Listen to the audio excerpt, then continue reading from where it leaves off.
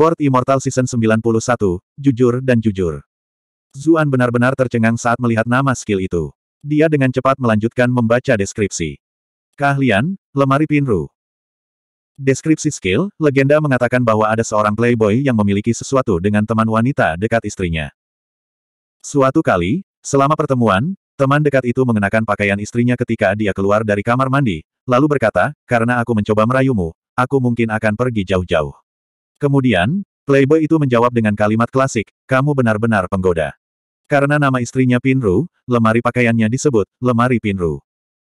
Efek, saat skill ini digunakan, lemari pakaian akan dipanggil.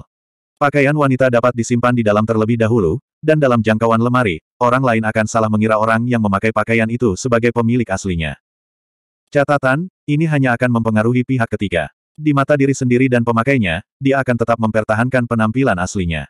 Efeknya akan hilang begitu target berada lebih dari 10 meter dari lemari. Zuan tercengang beberapa saat setelah dia membaca pendahuluan. Mengapa semua keterampilan yang dia dapatkan begitu buruk?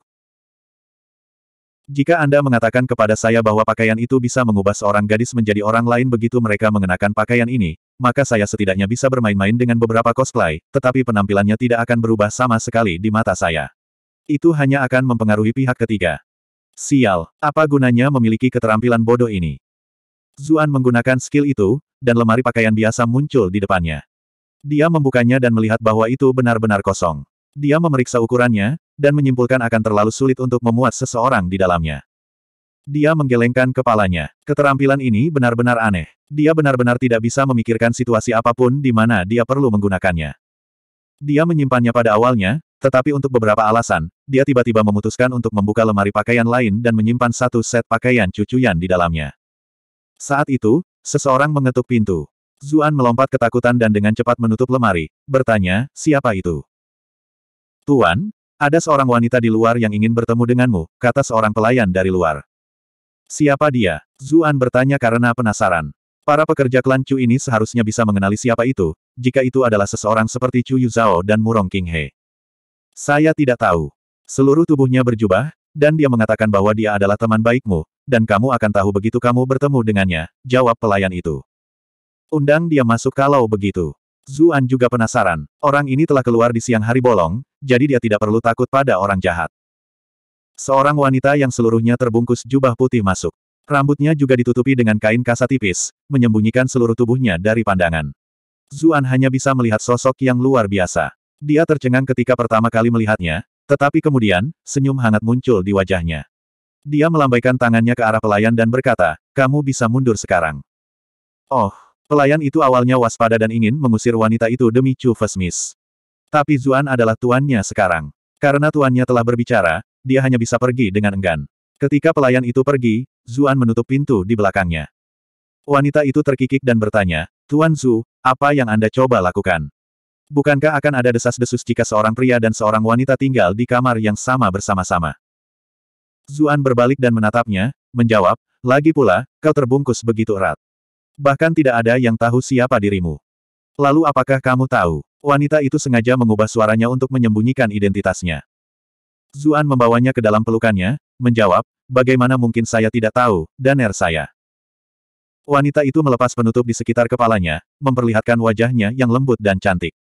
Siapa lagi selain Zeng Dan? Matanya penuh kegembiraan saat dia berseru, aku sudah menutupi diriku dengan sangat hati-hati. Bagaimana kamu tahu siapa aku? Zuan mengulurkan tangan dan menyentuh wajah Zeng Dan. Kulitnya masih sangat halus dan cerah. Apakah kita membutuhkan sesuatu seperti itu? Kami sudah saling kenal begitu lama. Aku tahu itu kamu dari satu pandangan. Petik 2. Pada kenyataannya, itu terutama karena baunya. Aroma keindahan di sekitarnya semuanya berbeda. Setelah berada di sekitar Zeng dan begitu lama, bagaimana dia bisa melupakan baunya? Selanjutnya, dia baru saja menerima kabar bahwa Sang Hong baru saja kembali.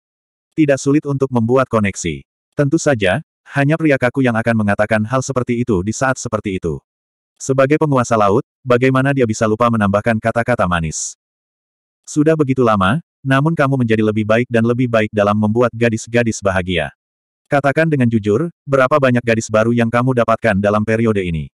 Zeng dan mendengus. Nada suaranya sangat licik, namun menyenangkan. Mengapa seorang pria yang jujur melakukan hal seperti itu? Lebih jauh lagi, saya berada di atas kepala saya dalam bahaya, saya tidak punya waktu untuk bersama orang lain, kata Zuan tanpa mengedipkan mata. Kurasa aku akan mempercayaimu. Zeng dan tidak mencurigainya. Lagi pula, semua orang tahu di mana dia selama ini. Tidak mungkin dia ada hubungannya dengan putri mahkota, kan? Zuan memandangi keindahan di depannya. Dia mengenakan gaun putih, membuatnya terlihat lebih cantik dan menawan.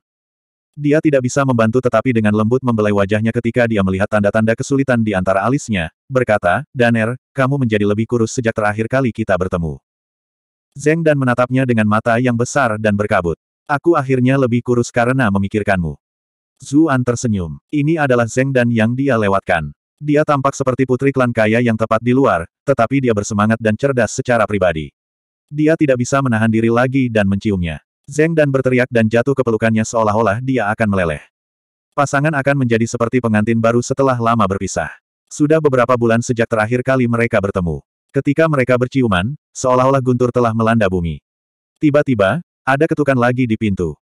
Menguasai, menguasai, memanggil pelayan itu lagi. Zuan mengangkat kepalanya, berkata dengan sedih, jangan ganggu aku jika itu bukan sesuatu yang penting.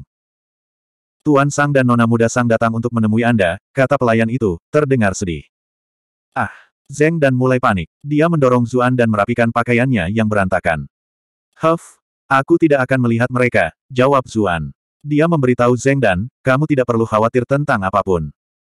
Wajah Zeng dan memerah. Tetapi pada akhirnya, dia masih tidak bisa melanjutkan apa yang baru saja mereka lakukan. Dia menjawab, saya memberitahu mereka bahwa saya akan memeriksa beberapa bisnis klan Zeng. Jika mereka menemukan saya di sini, kita semua akan terlihat buruk. Zuan terkejut. Bisnis klan Zeng telah mencapai ibu kota. Zeng dan memutar matanya. Apakah itu benar-benar yang penting sekarang? Pelayan itu berlari dan berbicara lagi. Tuan, Tuan Sang berkata bahwa ada sesuatu yang penting yang ingin mereka bicarakan dengan Anda. Mereka akan pergi setelah pertemuan singkat. Zuan merasa sakit kepala ketika mendengar betapa gigihnya mereka. Zeng dan berkata dengan tersipu, aku pergi dulu. Aku akan menemukanmu lagi nanti. Dia membuka jendela di belakangnya dan hendak melompat keluar, tetapi dia melompat ketakutan ketika dia melihat beberapa pelayan sedang menyapu tanah di halaman belakang.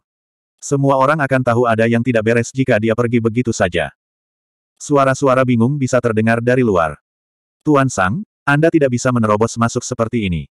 Tuan Sang, Nona Sang. Dilihat dari kebisingannya, dua ayah dan anak klan Sang jelas-jelas mendekati ruangan. Zeng dan menjadi pucat dan bertanya, apa yang harus kita lakukan? Meskipun dia sudah membuat keputusan untuk memulihkan kebebasannya setelah Sang Qian dimakamkan, dia masih belum punya waktu untuk membicarakannya. Dia masih menantu klan Sang. Akan sangat buruk jika mereka bertemu satu sama lain sebelumnya. Zuan merasa sakit kepala. Tiba-tiba, dia memikirkan sesuatu. Dia melihat lemari dan membukanya. Dia menyerahkan pakaian di dalamnya, berkata, ganti pakaian ini. Setelah berada di Bright Moon City begitu lama, Zeng dan jelas tahu bahwa itu adalah pakaian cucuyan. Dia malu dan cemas, berseru, apakah Anda tahu situasi seperti apa yang kita hadapi? Namun kamu masih memikirkan hal-hal ini. Petik 2. Dia tidak akan keberatan memainkan game ini dengan Zuan jika ada waktu lain, tetapi ada keadaan darurat yang lebih besar sekarang. Zuan berkata dengan serius, percayalah padaku. Kami akan berhasil melewati situasi ini jika kamu mengenakan pakaian ini. Bab 902 Zeng dan tidak mengerti bagaimana mengenakan pakaian cucuyan akan membantu mereka melewati situasi ini. Tapi sekarang setelah semuanya mencapai titik ini, tidak ada lagi yang bisa dia lakukan. Pikirannya sudah kacau, jadi dia tanpa sadar mendengarkan instruksi Zuan. Tapi pakaian wanita tidak mudah diubah di dunia ini. Dia tidak bisa menyelesaikan perubahan bahkan setelah waktu yang lama. Dia memutuskan untuk bersembunyi di balik layar. Zuan bergerak untuk menghentikan dua ayah dan anak klan Sang. Hasil terbaik adalah jika mereka tidak melihat apa-apa. Lagi pula, dia belum pernah menguji lemari Pinru, dan tidak tahu apakah itu akan berhasil. Tapi pintu terbanting terbuka begitu dia mencapai pintu masuk. Sosok cantik bergegas masuk. Zuan menghentikannya dan bertanya dengan nada serius, apa yang kamu lakukan? Sosok itu terkejut. Dia dengan cepat menutupi dadanya dengan lengannya, menatapnya dengan malu dan marah. Anda telah berhasil mengontrol Sang Qin untuk plus 44 plus 44 plus 44. Wanita muda yang menerobos masuk, tentu saja, adalah nona muda klan Sang, Sang Qin. Zuan tidak menyangka bahwa dia akan kebetulan menyentuh beberapa area yang seharusnya tidak dia miliki ketika dia menghentikannya. Apa yang kamu lakukan, bersembunyi di dalam sepanjang hari. Sang Qin hampir menangis. Hampir tampak seolah-olah dia yang melemparkan dirinya ke arahnya. Ini salahmu karena menerobos masuk seperti ini. Aku baru saja akan membuka pintu. Zuan telah berencana untuk mengkritiknya dengan keras, tetapi dengan situasi yang tidak terduga ini, nada suaranya tidak bisa membantu tetapi sedikit mereda. Ehem, Sang Hong berseru dari luar. Tuan Zu, tolong jangan salahkan putri saya. Dia agak terburu-buru dan telah bertemu dengan Sirsu. Yang tua ini akan meminta maaf menggantikannya. Petik 2. Sang Qin menjadi cemberut. Dia jelas telah dimanfaatkan, namun ayahnya malah meminta maaf. Perasaan seperti itu benar-benar tidak bagus. Zuan memiliki ekspresi aneh di wajahnya. Saya mungkin akan mempercayai Anda jika Anda mengatakan bahwa temperamen Sang Qian gegabah, tetapi Anda mengatakan ini tentang Sang Qin yang banyak akal. Rubah tua ini jelas menggunakan putrinya untuk masuk ke dalam. Dengan begitu, bahkan jika mereka menerobos masuk, Zuan tidak bisa banyak bicara. Menguasai. Beberapa pelayan bergegas masuk dengan tongkat di tangan. Mereka memandang para pengunjung dengan ekspresi tidak ramah. Membiarkan pasangan itu menerobos masuk sudah sangat mengabaikan tugas mereka. Tidak apa-apa, kita teman lama. Anda semua dapat menarik diri untuk saat ini. Zuan juga tidak ingin masalah ini lepas kendali. Dia memberi isyarat agar mereka pergi untuk sementara waktu. Kemudian, dia melihat ayah dan anak perempuan itu dan berkata sambil tersenyum, kalian berdua meledak seperti ini dengan sangat ganas. Orang lain mungkin berpikir bahwa kamu datang untuk menangkap pesina atau semacamnya. Zeng dan melompat ketakutan. Orang ini benar-benar berani mengatakan sesuatu seperti itu. Huff. Aku ingin melihat apa yang akan kamu lakukan setelah mereka mengetahuinya. Sangkin tersipu dan membuang muka dengan perasaan bersalah. Tapi rubah tua Sang Hong jelas jauh lebih tak tahu malu. Dia menjawab sambil tersenyum, saya melihat bahwa Tuan Zu masih menyukai lelucon seperti biasanya. Kami mendengar bahwa Anda terluka cukup parah di ruang bawah tanah, tetapi kami tidak dapat bertemu dengan Anda selama ini saat Anda berada di istana. Ketika kami mengetahui bahwa Anda telah muncul, kami segera datang menemui Anda. Kiner di sini terlalu mengkhawatirkanmu dan menerobos masuk. Aku harus memintamu untuk memaafkan kekasarannya. Ayah, Sangkin menghentakkan kakinya. Meskipun dia tahu bahwa ayahnya menggunakan dia sebagai alasan, rasa malu nona mudanya masih tidak bisa diterima. Sang Hong terbatuk dan pura-pura tidak melihat apa-apa. Zuan memikirkan sesuatu. Dia berkomentar sambil tersenyum, hem. Kalian berdua datang hari ini, tetapi mengapa saya tidak melihat Nona Zeng di sini? Jantung Zeng dan hampir keluar dari dadanya. Mengapa orang ini terus membicarakan masalah kita? Dia benar-benar bermain api. Sangkin secara bertahap memulihkan ketenangannya dan berkata, adik iparku pergi lebih awal. Benar, apakah dia datang dan mengunjungimu? Dia melihat sekeliling saat dia berbicara. Zuan menjawab sambil tersenyum, mengapa kakak iparmu datang mencariku? Sangkin berkomentar dengan senyum ambigu, siapa yang tahu. Kamu dan kakak iparku adalah teman yang sangat baik, kan? Zeng dan memegangi kepalanya di lengannya. Adik iparnya ini terlalu pintar. Dia selalu merasa bahwa gadis ini benar-benar tahu sesuatu. Zuan tertawa dan berkata, tapi tentu saja. Aku dikurung di sel yang sama dengan adik iparmu begitu lama dalam perjalanan ke ibu kota, jadi kita telah melalui beberapa hal bersama. Tentu saja kami berteman baik. Saya juga berteman baik dengan Nonakin. Zeng dan tersipu ketika dia mendengar kata-kata itu. Adegan mereka berdua duduk bersama di kereta muncul kembali. Orang ini benar-benar sedikit.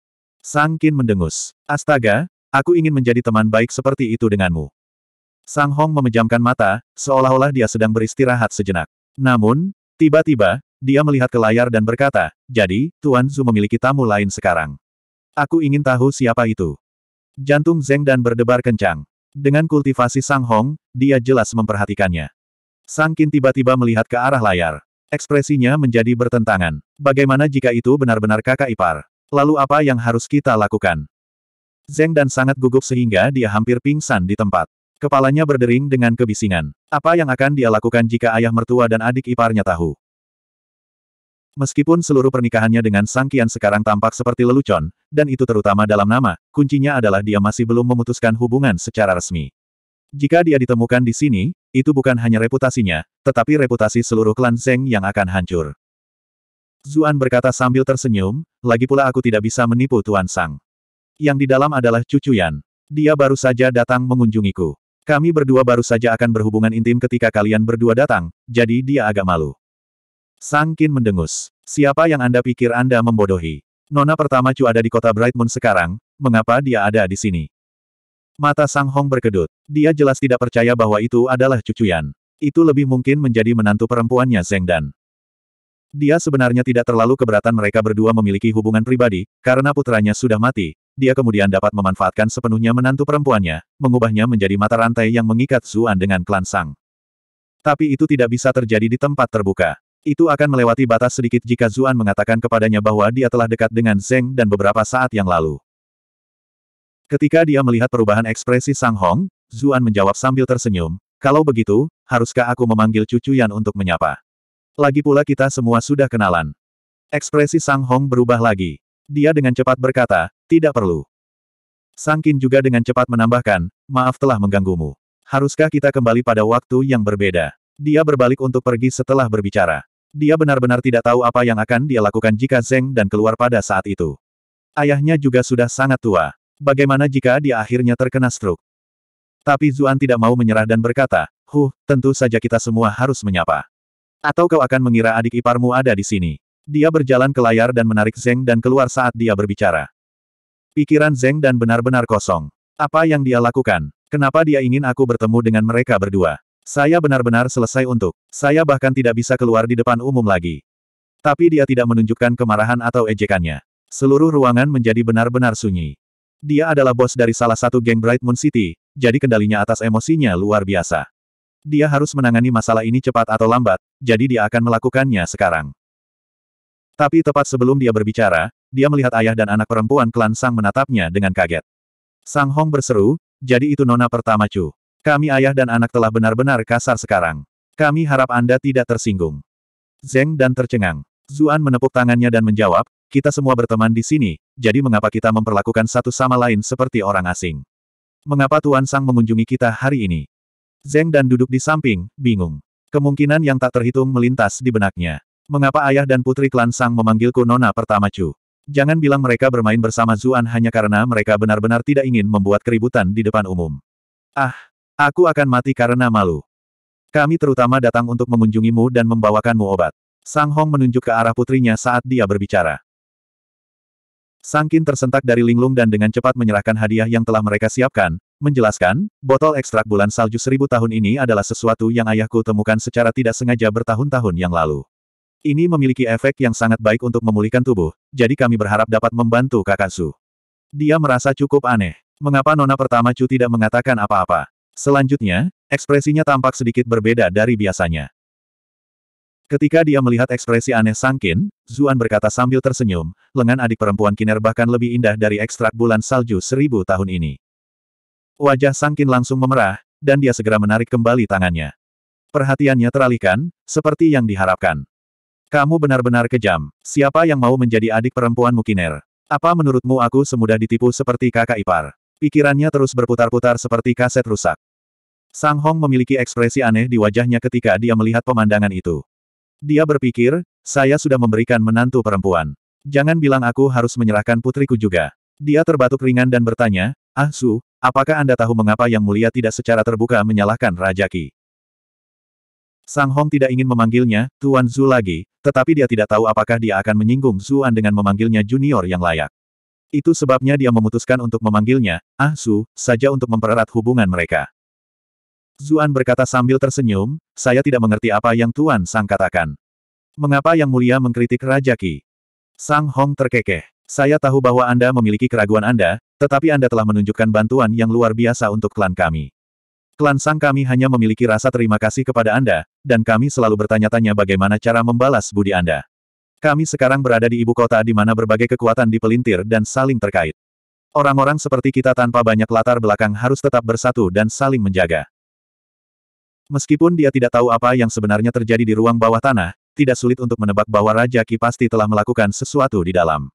Selanjutnya, orang-orang yang keluar pada akhirnya adalah Zuan, putra mahkota, dan putri mahkota. Itu berarti rencana Raja Ki telah gagal. Zuan tidak melanjutkan tindakannya ketika dia melihat bahwa Sang Hong sudah melangkah sejauh ini. Paman Sang, tolong jangan tersinggung. Ibu kota sangat berbahaya saat ini, jadi saya harus berhati-hati dengan setiap langkah yang saya buat. Zeng dan tidak bisa menahan diri untuk tidak memutar matanya ketika dia mendengar Zuan bahkan memanggil Sang Hong, Paman Sang. Keduanya telah bertengkar satu sama lain hanya beberapa bulan yang lalu, namun mereka sekarang seperti keluarga. Dunia ini benar-benar aneh. Sang Hong berkata, kami tidak memiliki dendam di antara kami yang tidak dapat diselesaikan. Sebaliknya, ada banyak area di mana kami dapat bekerja sama dan menggabungkan kekuatan kami. Dia selalu mengikuti kaisar sebagai subjek yang setia dengan pengabdian mutlak. Namun pada akhirnya, dia harus kehilangan putra satu-satunya karena kejadian yang tidak terduga. Pada akhirnya, itu karena kaisar tidak ragu-ragu untuk meninggalkannya. Dia tahu bahwa tidak ada artinya lagi untuk tetap menjadi subjek yang setia, jadi itu sebabnya dia berubah pikiran. Tapi dia sudah menyinggung terlalu banyak klan dari semua pekerjaan kotor yang dia bantu untuk kaisar. Praktis tidak ada tempat tersisa di ibu kota untuknya. Namun, Zuan berbeda. Dia adalah bintang yang sedang naik daun, dan dia memiliki klan Chu di belakangnya juga. Lebih jauh lagi, bahkan hubungannya dengan Royal Academy tampaknya tidak buruk. Lebih penting lagi, mereka berdua telah berbagi suka dan duka dalam perjalanan ke ibu kota. Sampai tingkat tertentu, mereka sudah menjalin persahabatan yang agak kokoh. Itulah mengapa Zuan adalah orang yang paling layak untuk investasinya saat ini. Zeng dan cukup terkejut. Pihak lain sudah bersikap tulus, dan dia bermain bersama meskipun dia telah melihatnya di sini. Itu berarti dia sudah diam-diam menyetujui hubungannya dengan Zuan. Dia senang, namun juga menyesal di dalam. Dia tanpa sadar melihat ke arah Zuan, matanya dipenuhi permohonan. Dia berharap Zuan dan klan Sang dapat mempertahankan hubungan yang baik. Zuan berpikir sebentar, lalu tersenyum. Saya mendapat banyak manfaat dari nasihat paman tentang kekuatan ibu kota dalam perjalanan ke ibu kota. Saya pasti akan membutuhkan bantuan paman lebih dan lebih di masa depan. Sang Hong yang sebelumnya tegang menghela nafas lega. Zuan sudah diam-diam menerima aliansi mereka. Itu berarti segalanya akan menjadi lebih mudah sekarang. Zuan tidak menahan diri lagi dan berkata, pertanyaan yang diajukan paman barusan membuatku bingung juga. Kedua belah pihak telah bertarung begitu lama, dan dia memiliki alasan yang dapat dibenarkan untuk melenyapkan Raja Ki kali ini. Mengapa Yang Mulia malah menyerahkan kesempatan yang begitu besar? Petik 2. Dia sebenarnya sudah punya jawaban sendiri untuk pertanyaan itu. Dia bertanya-tanya apakah itu karena Kaisar telah kehilangan sebagian dari jiwanya, menyebabkan kekuatannya sangat menurun dan mencegahnya menang melawan Raja Qi. Tapi dia tidak bisa memberitahu Sang Hong itu dan mendiskusikannya bersamanya. Adapun ancaman Zuxi Cixin, Zuan sama sekali tidak peduli padanya. Sang Hong berkata, sudah bisa diduga. Tahukah Anda bahwa situasi ibu kota selalu sangat tegang? Semua tentara dipindahkan secara pribadi, dan seluruh ibu kota seperti seember mesiu. Hanya dengan satu percikan, semuanya akan meledak. Raja Ki sudah bertahun-tahun merencanakan. Kekuatan dan pengaruhnya sangat besar, dan hampir setengah dari seluruh pejabat sipil dan militer pengadilan berada di pihaknya. Jika Yang Mulia memutuskan untuk memutuskan semua hubungan sekarang, semua orang yang terkait dengan Raja Ki tidak akan punya pilihan selain menguatkan diri dan mempertaruhkan semuanya. Itu adalah situasi yang tidak ingin dilihat oleh Yang Mulia. Zuan tidak menyangka bahwa kedua belah pihak sudah berada di ambang perang. Tapi apakah dia benar-benar akan membiarkannya begitu saja? Dia bertanya. Dengan sifat keagungannya, saya tidak percaya dia bersedia menderita kerugian seperti itu. Sang Hong tersenyum, tetapi tidak menjawab. Sebaliknya, dia menatap putrinya dengan ekspresi tegang dan bertanya, Kiner, bagaimana menurutmu? Sang Qin lengah, tapi dia masih menjawab, yang mulia jelas tidak akan membiarkan hal itu terjadi. Jika dia bertindak sesuai dengan prediksi kami, dia mencoba untuk menghindari konflik skala besar, tapi dia pasti akan mencoba untuk menghancurkan kekuatan inti dari faksi Raja Ki terlebih dahulu. Kemudian, dia akan menyelesaikan skor ketika ada momen yang tepat. Dia menatap Zeng Dan, lalu berkata, selanjutnya, bagian dari faksi Raja Ki yang akan menanggung beban ini adalah klan Qin. Pasukan klan Qin berakar dalam di militer. Alasan mengapa Yang Mulia tidak mau membuat keributan besar juga karena klan Qin. Petik 2. Zeng dan bingung. Mengapa Anda melihat saya ketika Anda berbicara tentang klan Qin? Jangan bilang kamu benar-benar mengira aku cucu Yan. Zuan dengan cepat bertanya, lalu bagaimana menurutmu Yang Mulia akan bertindak melawan klan Qin? Bagaimanapun juga, klan Qin adalah keluarga asli Qin Wanru, dan mereka memperlakukan cucu Yan dan Chu Yu Zhao dengan baik. Mereka pasti akan merasa tidak enak jika sesuatu benar-benar terjadi pada klan. Sang Qin menggelengkan kepalanya. Kami tidak memiliki informasi yang cukup sekarang. Namun, yang bisa saya yakini adalah bahwa target pertama yang mulia pasti adalah klan Qin. Selain itu, tidak akan lama sebelum dia bergerak. Petik 2. Teruskan. Zuan juga duduk tegak. Analisis Sang Qin sangat penting. Dia tidak ingin melewatkan apa pun. Selanjutnya adalah klan Yu. Jika klan Qin mewakili otoritas militer, klan Yu yang kaya mewakili kekuatan finansial Raja Kimanor, lanjut Sang Qin. Tentu saja, itu mungkin klan Pei. Bagaimanapun, Klan Pei memiliki pengaruh besar dalam urusan pemerintahan pengadilan. Petik 2. Yu Yanluo dan Pei Mianman muncul di kepala Zuan. Dia merasa sedikit pusing. Mengapa semua orang yang dekat dengannya harus berada di faksi Raja Qi? Dia berbagi dendam besar dengan ayah dan anak klan itu. Saat Sangkin berbicara lebih banyak tentang analisisnya, Zuan merasa bahwa dia mendapat banyak manfaat dari apa yang dia katakan. Dia menghela nafas kagum dan berkata, adik perempuan Kiner benar-benar pantas mendapatkan reputasimu. Kamu benar-benar seorang suge perempuan. Satu. Siapa suge? Sangkin bingung. Dia sudah mengoreksinya beberapa kali, namun Zuan masih memanggilnya, adik perempuan Kiner. Dia bahkan tidak ingin mengomentarinya lagi. Om, Zuan berpikir sebentar sebelum menjelaskan, orang yang sangat cerdas. Wajah Sangkin memerah. Dia menjadi sedikit malu saat dia bergumam, aku tidak sehebat itu. Adik perempuan Kiner terlalu rendah hati. Zuan tiba-tiba menemukan bahwa menggoda gadis ini cukup menyenangkan. Dia sangat dewasa dalam urusan politik, namun dia sama pemalunya dengan wanita muda tentang topik normal. Sang Hong terbatuk dan memotong ejekan Zuan. Ah Su, statusku spesial, jadi yang mulia mungkin mulai mencurigaiku jika aku mengobrol denganmu terlalu lama. Itu sebabnya, jika Anda memiliki sesuatu yang perlu Anda bicarakan, silakan cari Kiner. Ada banyak area di mana dia tidak kalah dengan saya. Petik 2. Tentu, kata Zuan sambil tersenyum. Mengobrol dengan seorang wanita muda jelas lebih menarik daripada berbicara dengan seorang pria tua. Tapi tiba-tiba dia merasakan tangan kecil mencubit pinggangnya. Zeng dan berkata di telinganya melalui transmisi Ki, tes-tes, lelaki tua itu mencoba memberi kalian berdua kesempatan untuk berkumpul secara pribadi. Dia perlahan mulai melihat rencana Sang Hong. Dia merasa sedikit tidak senang. Dia jelas datang ke sini lebih dulu. Setelah beberapa keraguan, Sang Hong berkata, benar, klan Zeng memulai beberapa bisnis di ibu kota, dan Zeng dan selalu menyibukkan diri di sana. Tidak mudah baginya untuk sendirian. Ah Su, jika kamu mau, tolong jaga dia juga. Petik 2. Sang Qin menatap ayahnya dengan kaget. Meskipun dia curiga, dia tidak menyangka ayahnya benar-benar mengatakan itu dengan keras. Meskipun tidak ada yang dikatakan secara terbuka, semua orang yang hadir cerdas.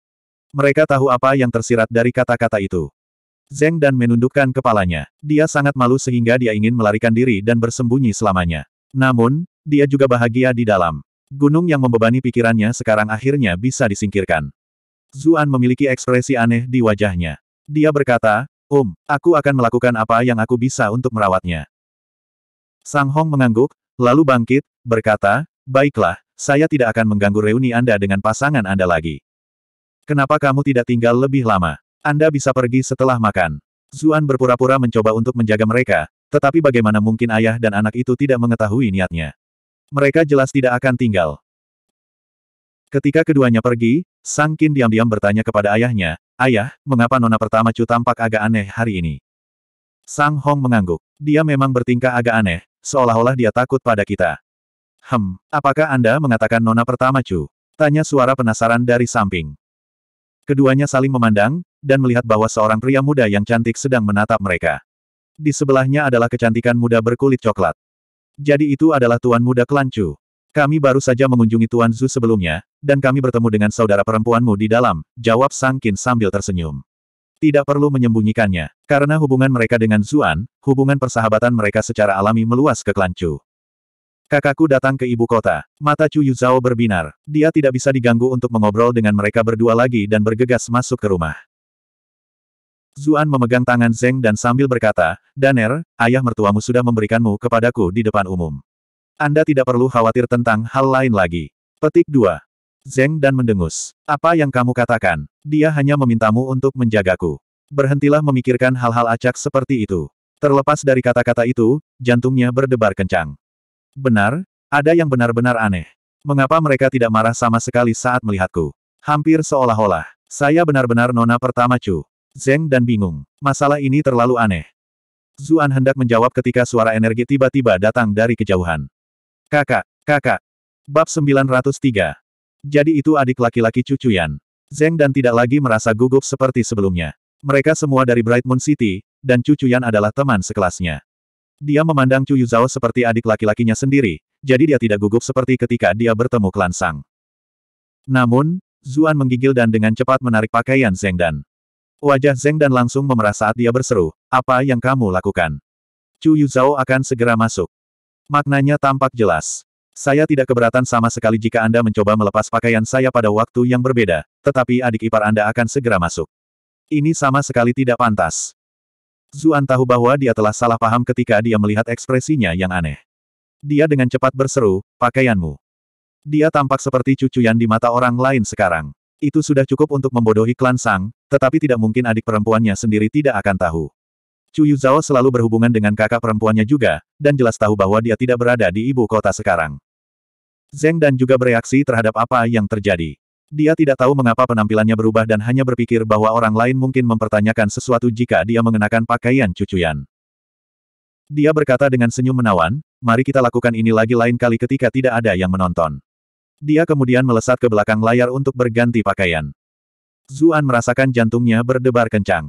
Zeng dan benar-benar tahu cara menghidupkannya. Dia benar-benar tahu apa yang diinginkan pria. Tapi dia sedang tidak mood untuk memikirkan hal seperti itu sekarang. Dia dengan cepat pindah ke pintu masuk untuk mengulur waktu Zeng dan Kak, Chu Yuzhao berlari terlalu cepat dan menabrak Zuan. Dia tersipu dan dengan cepat mundur selangkah, berseru, kakak ipar bodoh, apakah kamu sengaja melakukannya?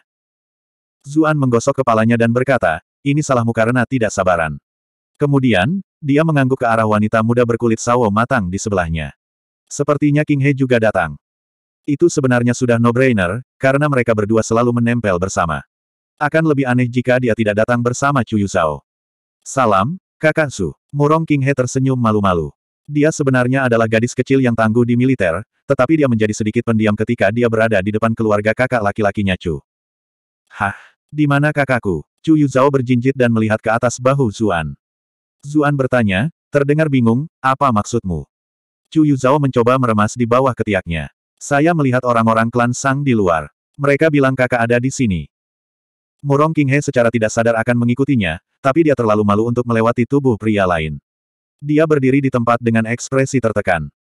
Untungnya, Zuan dengan cepat membuka pintu. Kakak perempuan apa, adik laki-laki? Bagaimana mungkin kakak perempuanmu ada di sini? Kurasa kau benar. Chu Yuzhao sebenarnya juga bingung. Bagaimanapun, dia tahu bahwa kakak perempuannya seharusnya masih berada di Bright Moon City, tertekan oleh semua pekerjaan. Mengapa dia ada di sini? Tapi Sang Hong tidak mudah dibodohi. Matanya tiba-tiba beralih ke layar di sebelahnya. Ada gaun biru muda di sana. Dia bertanya sambil tersenyum. Kakak, apakah itu benar-benar kamu? Namun, ketika dia berlari dan melihat siapa itu, dia terkejut. Mengapa kamu di sini? Dia bertanya. Zeng dan berjalan keluar sambil tersenyum, menjawab, siapa lagi yang tuan muda Cu pikir itu? Dia menyelinap melihat Zuan. Huff, kamu bahkan tidak berpikir untuk menghentikannya. Bagaimana jika saya belum selesai berganti pakaian dan dilihat oleh pria lain? Bukankah Anda yang akan menderita kerugian saat itu? Cross-dressing Chu Yuzhao adalah rahasia terbesar klan Chu. Zeng dan jelas tidak tahu tentang itu. Chu Yuzhao bingung. Kemudian, dia tiba-tiba menyadari sesuatu. Dia berbalik dan menatap mereka berdua dengan curiga, bertanya, mengapa kamu di sini? Dan kenapa kamu menyembunyikan semuanya secara diam-diam di balik layar seperti itu? Zeng Dan berkata dengan tenang, saya tidak sengaja menumpahkan teh ke pakaian saya, yang membuatnya basah. Itu sebabnya saya pergi ke belakang layar untuk menyelesaikannya. Mata Chu Yuzhao bergerak melintasi tubuhnya. Pakaiannya sepertinya tidak basah sama sekali. Tapi mungkin dia sudah mengelapnya. Dia mencibir dan berkata, Nona Zeng. Ah, maksud saya Nyonya Sang, Anda sudah menjadi wanita yang sudah menikah, tetapi Anda sedang menyortir pakaian Anda di kamar pria lain. Bukankah itu akan menciptakan rumor? Mata Zeng dan berkedut ketika dia mendengar kata-kata, Nyonya Sang. Adik laki-laki ini sama tajamnya dengan seorang gadis. Dia benar-benar tahu bagaimana menusuk seseorang di tempat yang sakit. Dia menjawab tanpa mengedipkan mata, siapa bilang aku sendirian? Saya datang dengan ayah mertua dan ipar perempuan saya. Hanya karena saya harus membersihkan ini, saya tinggal lebih lama. Adapun hal-hal lain, kakakmu dan aku adalah sesama siswa, dan kakak iparmu adalah guruku, seorang pria jujur yang terkenal. Mengapa saya harus khawatir tentang hal-hal seperti itu? Petik 2. Napas Chu Yuzhao berhenti sebentar. Dia sebenarnya senang ketika dia mendengar Zeng dan memuji saudara iparnya, tetapi kemudian dia memanggilnya pria yang jujur. Gadis ini cukup cantik, tetapi sepertinya dia mungkin agak buta. Zuan terbatuk dan berkata, sudah cukup. Nona Zeng adalah seorang kenalan lama dari Bright Moon City, tetapi Anda datang padanya seperti dia penjahat. Bukankah itu agak kasar? Meskipun semuanya masuk akal, Chu Yuzhao hanya merasa ada sesuatu yang salah. Dia tiba-tiba menunjuk ke gaun di belakang layar, bertanya, lalu mengapa gaun kakakku ada di sana? Ekspresi Zeng dan berubah. Dia benar-benar tidak punya penjelasan untuk itu. Tapi untungnya, pikiran Zuan bergerak cepat. Dia dengan cepat berkata dengan serius, kakakmu dan aku sudah terlalu lama berpisah. Itu juga sangat sulit di penjara bawah tanah, dan satu-satunya hal yang membuatku terus maju adalah kakak perempuanmu. Ketika saya kembali, saya hanya bisa mengeluarkan beberapa pakaian lamanya untuk kenang-kenangan, jadi itu akan terasa seolah-olah dia masih di sisi saya. Petik 2. Kakak ipar, mata Chu Yuzhao memerah. Dia berpikir dalam hati, jadi kakak ipar sebenarnya sangat mencintai kakak. Aku bahkan mencurigainya, ada apa denganku? Murong Qinghe memiliki ekspresi aneh di wajahnya. Dia dibesarkan di antara tentara, jadi dia sering mendengar tentang hal-hal yang mereka lakukan. Dia tahu bahwa pria seperti itu sering kali penuh energi, dan ketika mereka dipaksa untuk menahannya terlalu lama, mereka tidak punya pilihan selain menyelesaikannya sendiri. Mereka terutama suka menggunakan pakaian wanita. Apakah itu yang kakak Su lakukan? Kulitnya yang kecoklatan mulai berubah sedikit merah ketika dia memikirkan itu. Ketika Zuan melihat kedua gadis kecil itu tersipu, satu karena iri, yang lain karena malu, dia merasa bersyukur karena reaksinya cukup cepat. Anda telah berhasil mentrol Zeng dan untuk plus 55 plus 55 plus 55. Namun, poin kemarahan itu membangunkan Zuan. Pengabdiannya terhadap cucuyan akhirnya menyinggung wanita lain. Dia segera menjelaskan dengan tenang, saya hanya melakukan itu untuk mengeluarkan kita dari situasi yang sulit ini, aku sangat merindukanmu ketika aku berada di Dungeon juga. Tapi Zeng dan tidak mudah dibodohi. Dia menjawab melalui transmisi Qi, Hah, apa yang kamu rindukan dariku? Um, Zuan segera menjawab, Aku merindukan bibirmu yang penuh gairah, tanganmu yang lembut, dan... Berhenti, berhenti, berhenti. Zeng dan akhirnya tidak tahan lagi. Meskipun dia bersemangat secara pribadi, dia masih merasa malu ketika dia berada di depan orang lain. Karena tidak ada yang lain, maka aku akan pergi dulu. Aku tidak akan menghalangi reuni kalian. Zeng dan dengan cepat pergi, tetapi dia sangat canggung sehingga dia terlihat seperti melarikan diri. Chu Yuzhao hanya bisa bergumam ketika dia pergi, orang-orang klan Sang sangat konyol. Mereka tidak hanya membawa putri mereka, mereka bahkan meninggalkan menantu perempuan mereka yang janda di sini. Apa sih yang mereka coba lakukan? Dia jelas masih memikirkan Sang Hong yang membodohinya. Zuan berkata sambil terbatuk, membicarakan orang lain di belakang mereka tidak terlalu cocok untuk seorang bangsawan. Chu Yuzhao mendengus. Apa? Apa kamu khawatir tentang Vixens itu hanya karena aku mengatakan beberapa hal? Dia merasa seolah-olah setelah kakak perempuannya pergi, gadis-gadis cantik tiba-tiba keluar untuk menari di sekitar Zuan. Dia memiliki misi untuk menjadi penjaga gerbang di tempat kakaknya. Napas Zuan berhenti sejenak. Dia tahu bahwa tidak ada gunanya berdebat dengannya pada saat itu, jadi dia hanya bisa menggunakan ketidaktahuan untuk mengalahkan ketidaktahuan. Dia menangis, ya ampun, sudah lama sekali. Apakah Anda merindukan saudara ipar Anda sampai mati? Datang dan beri aku pelukan, mari kita lihat apakah kamu sudah tumbuh sedikit lebih gemuk sejak terakhir kali kita bertemu. Chu Yuzhao berteriak. Benar saja, perhatiannya teralihkan dan dia bersembunyi di belakang Murong King He, berseru. Kakak ipar yang buruk. Zuan hendak memeluknya, tapi dia segera menarik tangannya ke belakang saat melihat Murong King He. Dia tertawa kecil karena malu dan berkata, bagaimanapun, kita semua laki-laki, apa masalahnya hanya dengan pelukan. Murong King He juga merasa aneh, tapi yang lebih dia khawatirkan adalah bahwa kakak laki-lakinya, Chu, benar-benar telah menempatkannya di tempat. Bagaimana jika saudara iparnya akhirnya memelukku? Itu salah siapa? Ekspresi Chu Yuzhao agak aneh. Kakak ipar bodoh sudah tahu aku. Tapi dia jelas tidak bisa mengatakan apa-apa di depan Murong King He. Dia dengan cepat mengubah topik. Kakak ipar, cepat dan ceritakan tentang apa yang terjadi di ruang bawah tanah. Bahkan Murong King He sekarang menatapnya dengan penuh minat. Lagi pula, hanya sedikit yang selamat yang tahu apa yang sebenarnya terjadi di ruang bawah tanah. Mungkin para pemimpin klan mungkin telah menerima beberapa rumor, tetapi junior seperti mereka sama sekali tidak tahu. Ah, tentang itu, itu cerita yang sangat panjang. Zuan menepikan kursi dan duduk. Dia perlahan memberitahu mereka tentang pertemuannya sejak persidangan.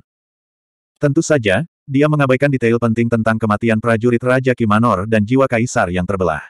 Tapi semakin menjadi seperti itu, semakin banyak liku-liku muncul dalam cerita, semakin mendebarkan. Kedua wanita muda itu bersemangat dan terkejut. Kakak ipar, aku tidak menyangka kamu menghadapi begitu banyak bahaya. Klan si benar-benar tercela. Dua saudara klan Gu itu bahkan lebih penuh kebencian. Ekspresi Murong King He sedikit lebih bertentangan. Sampai batas tertentu, mereka berada di bawah faksi Raja Qi. Itulah sebabnya, apakah itu klan Si atau klan Gu, apa yang telah dilakukan klan itu sebenarnya bermanfaat bagi mereka. Jika bukan karena Zuan, Raja Qi mungkin sudah naik tahta. Kakak laki-lakinya Chu benar-benar melupakan segalanya sekarang karena kakak iparnya ada di sini. Huh, lupakan saja, aku akan mengikuti kakak Chu ke mana pun dia pergi. Kemudian, Chu Yuzhao meraih lengan Zuan dan menariknya ke pintu. Kakak ipar, ayo pergi. Aku akan mentraktirmu ke pesta di restoran bulan untuk mengucapkan selamat padamu atas kepulanganmu yang selamat. Moon Restaurant adalah salah satu restoran paling terkenal di ibu kota. Ada desas-desus bahwa di masa lalu, ketika kaisar berbaur dengan orang-orang yang menyamar, dia bahkan akan senang ketika dia makan di sana. Sangat mudah untuk membayangkan seberapa tinggi tingkat makanan di dalamnya. Tentu saja, harganya juga sama tinggi. Tapi bagi pewaris klan Chu, cucu yang disayangi klan Qin, itu bukan masalah besar sama sekali. Acara seperti itu adalah sesuatu yang seharusnya dirayakan di rumah, tetapi tidak ada tuan rumah wanita di sana. Itu membuat suasananya sedikit terlalu ceria, dan tidak ada persiapan yang cukup. Adapun klan Qin, mereka bahkan tidak bisa memikirkan itu. Jika mereka membawa Zuan, klan Qin mungkin akan langsung mengejarnya. Zuan sama sekali tidak keberatan makan dengan dua wanita cantik muda. Dia bahkan bertanya-tanya apakah mereka akan bertemu dengan tuan muda penjahat bodoh yang akan menggoda dua wanita muda, di mana dia akan keluar untuk menyelamatkan mereka sebagai pahlawan mereka. Sayangnya, tidak ada hal tak terduga yang terjadi sama sekali. Dia melihat keduanya kembali ke rumah setelah mereka selesai makan. Novel web itu semuanya omong kosong, umpat Zuan sambil duduk di rumah. Tapi setelah berpikir sebentar, dia tertawa kecil dan merasa bahwa dia mungkin tidak merusak pemandangan seperti para protagonis itu, bukan magnet permusuhan. Karena bosan, dia mengeluarkan jimat harimau yang telah dia tarik sebelumnya. Bersama dengan yang belum dia gunakan, total ada enam. Siapa yang akan aku tuju kali ini? Sisi, satu, atau Diao Chan, dua. Hem, Aku juga tidak akan mengeluh jika aku memiliki seseorang seperti Xiao Qiao tiga. Zuan membiarkan fantasinya menjadi liar saat dia mulai menarik. Dia merasa jiwanya terbang keluar ke kosmos. Kemudian, dia melihat lampu berkelap-kelip di langit berbintang yang jauh. Dia melepaskan semangatnya dan fokus untuk berkomunikasi dengan mereka. Segera ada tanggapan, dan setitik cahaya dengan cepat terbang. Tolong Sisi, Sisi. Zuan mengepalkan tangannya. Tetapi ketika cahaya muncul di depannya, dia tercengang. Itu adalah topi hijau yang aneh. Sial, Zuan mengutuk. Kemudian, dia terus menarik. Dia tidak berani mengudara atau mencari seseorang yang setingkat sisi. Yang dia harapkan hanyalah dia bisa mendapatkan sesuatu yang berguna. Setelah menarik enam kali, mata Zuan berkedut. Dia akan menjadi gila dari enam topi hijau di depannya. Bisakah kamu tidak bermain denganku seperti ini? Kaisar memberiku gelar Green Head Viscount, dan sekarang aku menarik semua topi hijau. Dan semuanya sangat biasa, tanpa fungsi khusus. Sial, aku harus menyingkirkan gelar ini sesegera mungkin, atau orang lain akan mulai memperkenalkanku sebagai penguasa topi hijau Zuan atau semacamnya. Aku lebih baik mati daripada itu terjadi. Zuan memutuskan untuk menggunakan api Phoenix-nya dan membakar topi hijau yang mencolok itu menjadi abu. Aku akan membuat semua orang memakai topi hijau sialan ini. Zuan menjadi semakin marah semakin dia memikirkannya. Sayangnya, saat itu sudah larut malam dan tidak ada seorang pun yang bisa dia ajak bicara. Tidak berdaya untuk melakukan hal lain, dia hanya bisa memanggil Daji dan berbicara dengannya tentang kesengsaraannya. Sayangnya, Daji hanya menatapnya dengan matanya yang besar dan indah selama proses berlangsung. Dia tidak menunjukkan respon sedikit pun. Aku lupa kamu tidak punya jiwa. Zuan menghela nafas. Dia memikirkan sesuatu dan mengeluarkan buah ki yang dia dapatkan sebelumnya, memberinya makan.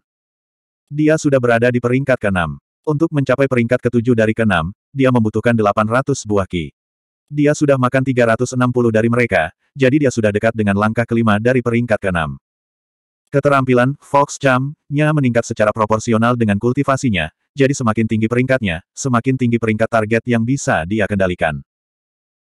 Demi mengendalikan tabib kekaisaran, Zuan telah mencoba segala macam metode yang berbeda untuk meningkatkan keterampilan, mantra rubah. Dia telah menggunakan tungku pil khusus dan menyiapkan segala macam bahan berharga hanya untuk meningkatkan peringkat keterampilan, memungkinkannya untuk mengontrol seseorang dengan peringkat kultivasi yang sama. Namun, menaikkan peringkat keterampilan benar-benar tidak banyak membantu. Itu adalah kesepakatan yang jauh lebih baik untuk hanya meningkatkan kultivasinya. Zuan melakukan perhitungan kasar. Meningkatkan kultivasi daji lebih mudah pada awalnya, tetapi akan menjadi jauh lebih sulit di kemudian hari. Lagi pula, dilihat dari kelihatannya, kultivasi daji sepertinya hanya bisa mencapai peringkat ke-9. Meningkatkan, Fox Jam, mungkin lebih berharga pada saat itu.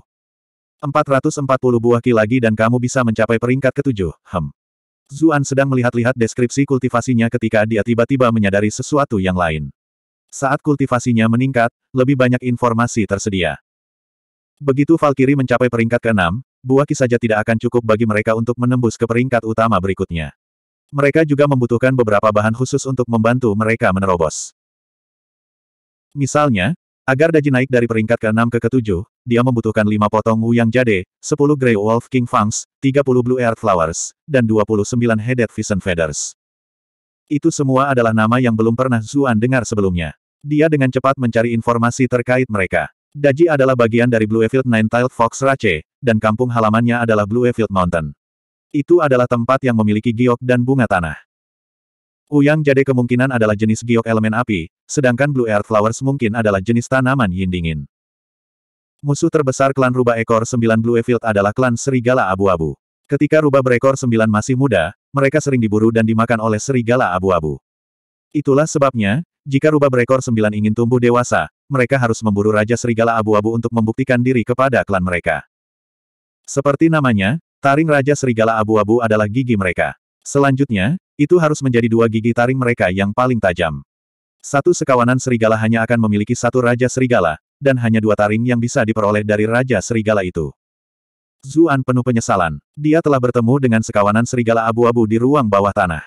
Jika dia tahu tentang ini sebelumnya, dia akan melemparkan banyak ke dalam penyimpanan spasialnya.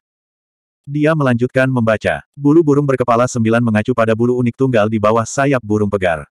Setelah bulunya hilang, burung berkepala sembilan akan kehilangan kemampuannya untuk terbang.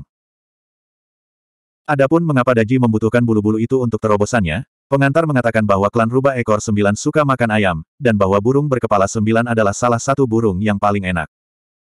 Zuan memandangi wanita berpakaian putih yang sangat cantik di depannya setelah membaca pendahuluan. Dia bertanya-tanya apakah dia harus memanggang beberapa ayam dan meletakkannya di depannya, untuk melihat apakah dia akan memakannya. Tetapi dia segera menyadari bahwa membesarkan kultivasinya mungkin tidak semudah yang dia bayangkan. Bahan khusus adalah batasan besar. Taring Grey Wolf Kings masih bisa digunakan, dia akan mengeluarkan beberapa saat dia punya kesempatan. Ada burung ekor sembilan di fitur toko yang telah dia buka sebelumnya.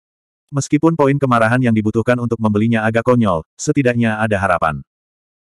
Adapun Wuyang Jade dan Blue Earth Flower, dia bahkan belum pernah mendengar tentang mereka sebelumnya. Bahkan sistem toko tidak memilikinya. Aku akan bertanya kepada rumah sakit kekaisaran tentang mereka besok. Zuan tanpa sadar tertidur setelah memikirkan masalahnya sebentar. Sementara itu, Daji yang berpakaian putih terus menatapnya diam-diam. Keesokan paginya, ketika Zuan bangun, ada seseorang di sebelahnya. Dia melompat ketakutan. Kemudian, ketika dia melihat bahwa itu adalah Daji, dia tidak bisa menahan diri untuk tidak berseru sambil tersenyum, jadi itu kamu. Maaf, aku lupa mengantarmu. Anda pasti sangat bosan tinggal di sini sepanjang malam. Petik 2. Daji hanya terus menatap kosong padanya.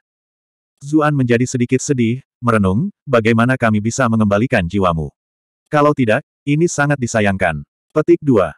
Daji berkedip seolah dia merasakan sesuatu. Tapi dia tampak tercengang ketika mendengar apa yang dikatakan Zuan. Begitu jiwamu kembali, hal pertama yang akan kulakukan adalah memelukmu saat aku tidur. Daji bingung. Zuan pergi ke istana kekaisaran setelah mandi. Dia ingin bertanya kepada rumah sakit kekaisaran tentang Wuyang Jade dan Blue Earth Flower, dan dia juga ingin bertemu Bilinglong untuk bertukar kasih sayang. Tetapi ketika dia tiba di istana kekaisaran, dia tiba-tiba merasakan suasana yang berat. Dia dengan cepat menepi beberapa penjaga untuk bertanya tentang apa yang terjadi. Mereka tahu bahwa dia adalah bintang yang sedang naik daun dan tidak menyembunyikan apa pun darinya, dengan cepat menjelaskan. Ada situasi darurat tadi malam dari utara. Ras iblis yang tetap tidak aktif selama bertahun-tahun tiba-tiba mengirim pasukan mereka ke selatan dan mengambil garis pertahanan kami. Mereka membantai dan menjarah segala sesuatu di jalan mereka, dan mereka bahkan mengambil sebuah kota. Ras iblis terkutuk itu, aku baru tahu bahwa semua non-manusia itu jahat. Jika kita tahu ini akan terjadi, yang mulia seharusnya memusnahkan mereka semua. Apa menurutmu semudah itu? Ras iblis masih kuat. Mereka bersembunyi di ujung utara setelah mereka dikalahkan, dan kami tidak bisa melakukan apa pun terhadap mereka. Apakah menurut Anda yang mulia secara pribadi akan memimpin pasukan ke dalam pertempuran? Tidak mungkin, mungkin Duke of Triumph negara yang akan memimpin pasukan. Petik 2. Aku pikir juga begitu. Dengan prestisenya di militer, saya tidak berpikir ada orang lain yang lebih baik untuk peran ini. Zuan terkejut ketika mendengar diskusi mereka. Duke of Triumph negara adalah Qin Zheng. Sang Qin telah memberitahunya sebelumnya bahwa target pertama Kaisar pasti adalah klan Qin, dan sekarang, Qin Zheng akan dipindahkan ke perbatasan. Apakah semua ini disengaja, atau murni kebetulan? Dia melanjutkan ke rumah sakit. Sayangnya, tidak ada yang tahu tentang dua bahan yang dia butuhkan bahkan setelah dia bertanya kepada beberapa dokter. Tapi salah satu dokter menyarankan, saya tidak tahu tentang Blue Earth Flowers, tapi saya tahu seseorang yang mungkin tahu tentang Wu Yang Jade. Klan Yu bekerja dengan semua jenis batu giok di seluruh dunia, dan Nyonya Yu Yan Luo bahkan lebih ahli dalam bisnis batu giok. Jika ada orang di dunia ini yang tahu tentang Wu Yang Jade ini, itu dia. Zuan tergerak. Sosok yang sangat cantik itu muncul di kepalanya, dan dia tidak bisa menahan senyum. Bagaimanapun juga, wanita ini dan aku terikat oleh takdir. Sekarang setelah ada beberapa kemajuan, Zuan merasa jauh lebih nyaman. Dia melanjutkan menuju Istana Timur. Mata Bilinglong berbinar ketika dia melihat Zuan, tetapi dia dengan cepat menjadi tenang dan berkata dengan acuh tak acuh, Tuan Zu telah terluka sangat parah dan harus beristirahat. Mengapa Anda datang ke Istana Timur begitu cepat? Zuan berkata sambil tersenyum, kulitku tebal, luka-luka itu sama sekali bukan masalah besar. Sebaliknya, ketika saya berpikir tentang bagaimana Putri Mahkota telah menderita kerusakan vitalitasnya karena ketidakmampuan saya, keinginan saya agar Putri Mahkota diperlakukan dengan baik membuat saya terjaga di malam hari. Bi Linglong tersipu. Dia jelas tahu, perlakuan, macam apa yang dia bicarakan. Ini menggodaku di depan begitu banyak orang. Bab 904 Billing Long tidak bisa menunjukkan pikirannya dan hanya bisa berkata sambil tersenyum, Terima kasih, Tuan Zhu, atas perhatian Anda. Saya baik-baik saja dan saya akan pulih setelah sedikit istirahat. Petik 2. Pembantunya, Rong Mo, juga bingung. Hah, Putri Mahkota, rambutmu menjadi lebih putih. Jika Sir Zhu memiliki obatnya, Anda harus bergegas dan biarkan dia mengobati Anda. Petik 2. Billing Long menatapnya sebelum dia bahkan bisa menyelesaikannya. Diam. Ekspresi Rong Mo segera menjadi sedih, tetapi dia tidak berani berbicara kembali dengan Putri Mahkota. Dia hanya bisa memelototi Zuan sambil cemberut dan bergumam, ini semua salahnya. Dia hanya tahu bagaimana mengatakan beberapa hal yang indah. Dia membuatku terlihat buruk. Bagaimana tubuh putra mahkota? Zuan bertanya, berpura-pura peduli. Lagi pula, dia ada di depan semua orang, jadi akan aneh jika dia hanya mengkhawatirkan putri mahkota. Berkat semua upaya Sirsu, meskipun putra mahkota menderita beberapa luka, hidupnya tidak dalam bahaya. Hanya saja dia sangat ketakutan di ruang bawah tanah, jadi dia terkadang mengalami mimpi buruk. Tabib kekaisaran telah meresepkan beberapa pil fokus tenang, jadi dia harus segera pulih juga, jawab Bilinglong secara formal. Pada saat yang sama, dia mengambil kesempatan untuk memuji kontribusi Zuan. Benar saja, yang lain memandang Zuan dengan mata penuh kekaguman ketika mereka mendengar kata-kata itu, yang jelas membuatnya merasa luar biasa. Itu terdengar baik. Zuan jelas tidak terlalu peduli. Dia mengingat apa yang dia dengar dari para penjaga di jalan dan berkata, saya mendengar bahwa ras iblis telah menyerang kita. Benar, ekspresi Bilinglong juga menjadi lebih serius. Kami baru menerima kabar ini tadi malam. Ras iblis telah menembus garis pertahanan utara kita, dan mereka bahkan membantai semua orang di kota Mobe yang strategis. Mereka membantai semua orang dan merebut kota. Ekspresi Zuan menjadi aneh. Dia telah melihat situasi seperti ini sebelumnya di buku-buku sejarah. Dia tidak menyangka hal itu akan terjadi begitu dekat dengannya suatu hari nanti. Memang, mereka bahkan tidak menyayangkan satu pun makhluk hidup. Ras iblis terlalu penuh kebencian. Kebencian berkedip di mata Bilinglong. Apa yang akan dilakukan pengadilan? Zuan bertanya. Bilinglong menjawab, selama sesi pengadilan pagi, ada perdebatan besar, tetapi konsensus umum adalah bahwa kita harus menyatakan perang. Dinasti Zhou Agung kita tidak pernah menderita kerugian sebesar itu sejak berdirinya kita. Menyerah pada penghinaan bukanlah sifat orang Zhou Agung kita. Sampai-sampai bahkan para siswa Akademi Kerajaan datang ke gerbang istana kami untuk mengajukan petisi, menyatakan bahwa mereka bersedia melawan ras iblis di garis depan. Tapi tentu saja, pengadilan jelas tidak setuju dengan itu. Bakat Royal Academy adalah fondasi bangsa kita, bagaimana kita bisa membiarkan mereka mati sebelum waktunya dalam pertempuran. Aku dengar orang yang terpilih untuk memimpin pertempuran kali ini mungkin adalah State Duke of Triumph, kan? Zuan bertanya. Ekspresi Bi Linglong berubah. Dia melambaikan tangannya, memberi isyarat agar yang lain pergi. Tapi dia harus menjaga Rong Mo di sisinya demi menyatakan dia tidak bersalah. Setelah itu, dia menjelaskan, memang. Jika tidak ada hal tak terduga yang terjadi, maka itu seharusnya menjadi Duke of Triumph negara. Tidak ada kandidat yang lebih cocok darinya di seluruh pengadilan dalam hal kualifikasi dan prestise. Petik 2. Zuan mencoba mencari tahu lebih banyak informasi dan berkata, membiarkan Duke of Triumph pergi mungkin bukan situasi terburuk untuk Istana Timur. Bilinglong menggelengkan kepalanya. Dia memberinya pandangan yang dalam. Itu mungkin hal yang baik di masa lalu, tapi sekarang, sebenarnya mungkin tidak. Zuan tercengang. Dia dengan cepat menyadari apa yang dia maksud. Mereka benar-benar bertarung melawan kaisar di ruang bawah tanah, jadi sebenarnya sekarang demi kepentingan terbaik mereka bagi kaisar dan Raja Qi untuk terus bertarung. Rongmo melihat bola bali antara Zuan dan Bilinglong. Dia berpikir dalam hati, apakah mereka berbicara dalam teka-teki satu sama lain. Mengapa saya tidak bisa mengerti apa yang mereka katakan? Mereka bertiga memiliki pemikirannya masing-masing. Anehnya ruangan itu menjadi sunyi. Beberapa saat kemudian, seorang pelayan tiba-tiba masuk dan melaporkan, Putri Mahkota, seorang utusan dari ruang belajar kekaisaran menginstruksikan saya untuk memberitahu Anda bahwa Yang Mulia telah memanggil Tuan Su. Rongmo hanya bisa bergumam, Tuan Su benar-benar dihargai oleh Yang Mulia, iya. Yang Mulia terus memanggil Anda lagi dan lagi. Dia telah melayani Putri Mahkota dengan rajin selama bertahun-tahun, namun Kaisar hampir tidak pernah memanggilnya sendirian. Zuan menjawab, apa yang bisa saya katakan? Semakin mampu seseorang, semakin besar tanggung jawab mereka. Rong Mo terdiam. Dia merasa seolah-olah dia tersinggung entah bagaimana. Bi Linglong khawatir. Hanya dia sendiri yang tahu bahwa itu mungkin bukan penghargaan. Dia berbicara dengan Zuan secara diam-diam melalui transmisi Qi. Hati-hati. Zuan tersenyum ke arahnya. Jangan khawatir, aku masih perlu membantumu dengan perawatanmu. Bagaimana saya bisa membiarkan sesuatu terjadi pada saya sebelum itu? Bi Linglong mendengus dalam hati. Seorang pria yang buruk. Rongmo memiliki ekspresi aneh di wajahnya. Dia juga melihat senyum aneh Zuan. Dia jelas tidak akan berpikir bahwa Zuan cukup berani untuk menggoda putri mahkota, jadi dia secara tidak sadar mengira itu adalah Zuan yang mengejeknya. Apakah orang ini mencoba untuk memukul saya? Huff, bahkan kodok sepertimu berpikir kamu punya kesempatan. Zuan melanjutkan ke studi kekaisaran. Dia mengangguk ke arah Kasim Wen ketika dia melihatnya, dan Kasim Wen juga tersenyum sebagai balasannya. Namun, ketika dia hendak masuk ke dalam, Kasim Wen menggelengkan kepalanya sedikit. Jika bahkan Zuxi Cixin bisa merasakan perubahan sikap Kaisar, sebagai ajudan terpercaya Kaisar, bagaimana mungkin dia tidak merasakan perubahan sikap yang mulia terhadap Zuan? Saya menyapa Kaisar. Ketika dia memasuki ruang kerja, Zuan memperhatikan bahwa kulit Kaisar benar-benar dingin. Suasana hatinya pasti sedang tidak baik. Duduk. Kaisar memerintahkan sambil menunjuk ke kursi di samping. Zuan cukup, kewalahan, dengan bantuan yang tiba-tiba. Dia telah datang ke ruang belajar ini berkali-kali, tetapi ini mungkin pertama kalinya dia diundang untuk duduk, kan?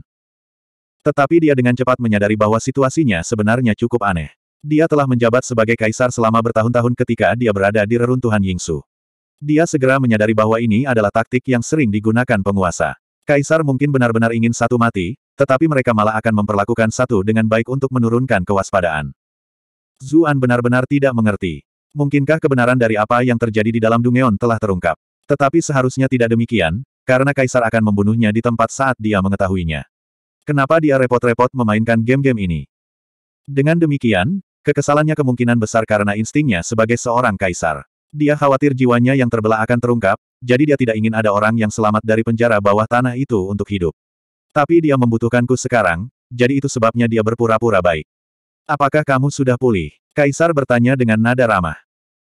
Zuan menjawab, saya cukup beruntung untuk menerima perawatan dari banyak dokter. Meskipun saya belum pulih sepenuhnya, saya setidaknya bisa bergerak sekarang. Saya merasa lebih merinding karena kaisar ini mencoba bersikap baik, aku lebih suka dia bertingkah seperti memaksakan dan mengintimidasi. Tunggu, apa yang aku katakan? Itu bagus kalau begitu. Kaisar mengangguk. Kebetulan ada sesuatu yang aku ingin kamu urus. Zuan berpikir, seperti yang diharapkan. Tapi dia tidak mengungkapkan pikirannya di permukaan sama sekali. Aku ingin tahu tugas macam apa itu. Kaisar berkata, sesuatu terjadi di Raja Kimanor beberapa hari yang lalu. Selir Raja Ki tenggelam di kolam di tengah malam. Ada banyak hal yang mencurigakan dalam masalah ini, jadi selidiki masalah ini untuk membantu Raja Ki menegakkan keadilan. Zuan memiliki ekspresi aneh di wajahnya. Apa maksudmu, bantu dia menegakkan keadilan? Kapan kalian berdua tiba-tiba menjadi saudara yang peduli? Jika dia meninggal di Raja Ki Manor, jika itu benar-benar bukan kecelakaan, itu pasti terkait dengan Raja Ki. Menyelidiki masalah ini berarti jelas menentang Raja Ki. Dia berkata dengan susah payah, bukankah seharusnya kesembilan menteri menangani masalah seperti ini? Selir Raja Ki memiliki identitas khusus, jadi tidak terlalu nyaman bagi kami utusan bordir untuk melihat. Dia ingin Kaisar dan Raja Ki saling menjaga. Mengapa dia tiba-tiba berlari ke tengah konflik mereka? Kaisar menggelengkan kepalanya. Kamu tidak akan menggunakan status Golden Token Eleven untuk menyelidiki masalah ini, melainkan identitas aslimu. Zuan tercengang. Apa-apaan, saya baru saja melewati seluruh petualangan penjara bawah tanah itu.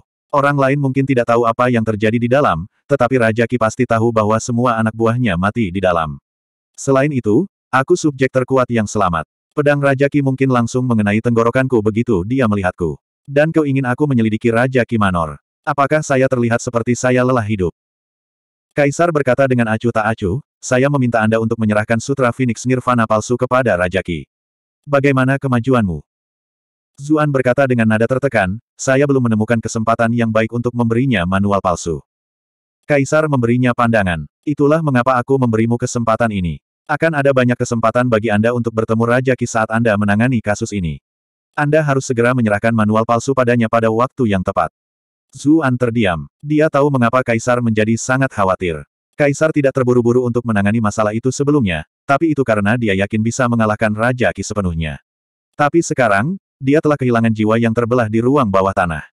Meskipun Zuan tidak tahu seberapa parah itu telah melukai Kaisar, itu pasti memiliki dampak yang signifikan pada kekuatannya.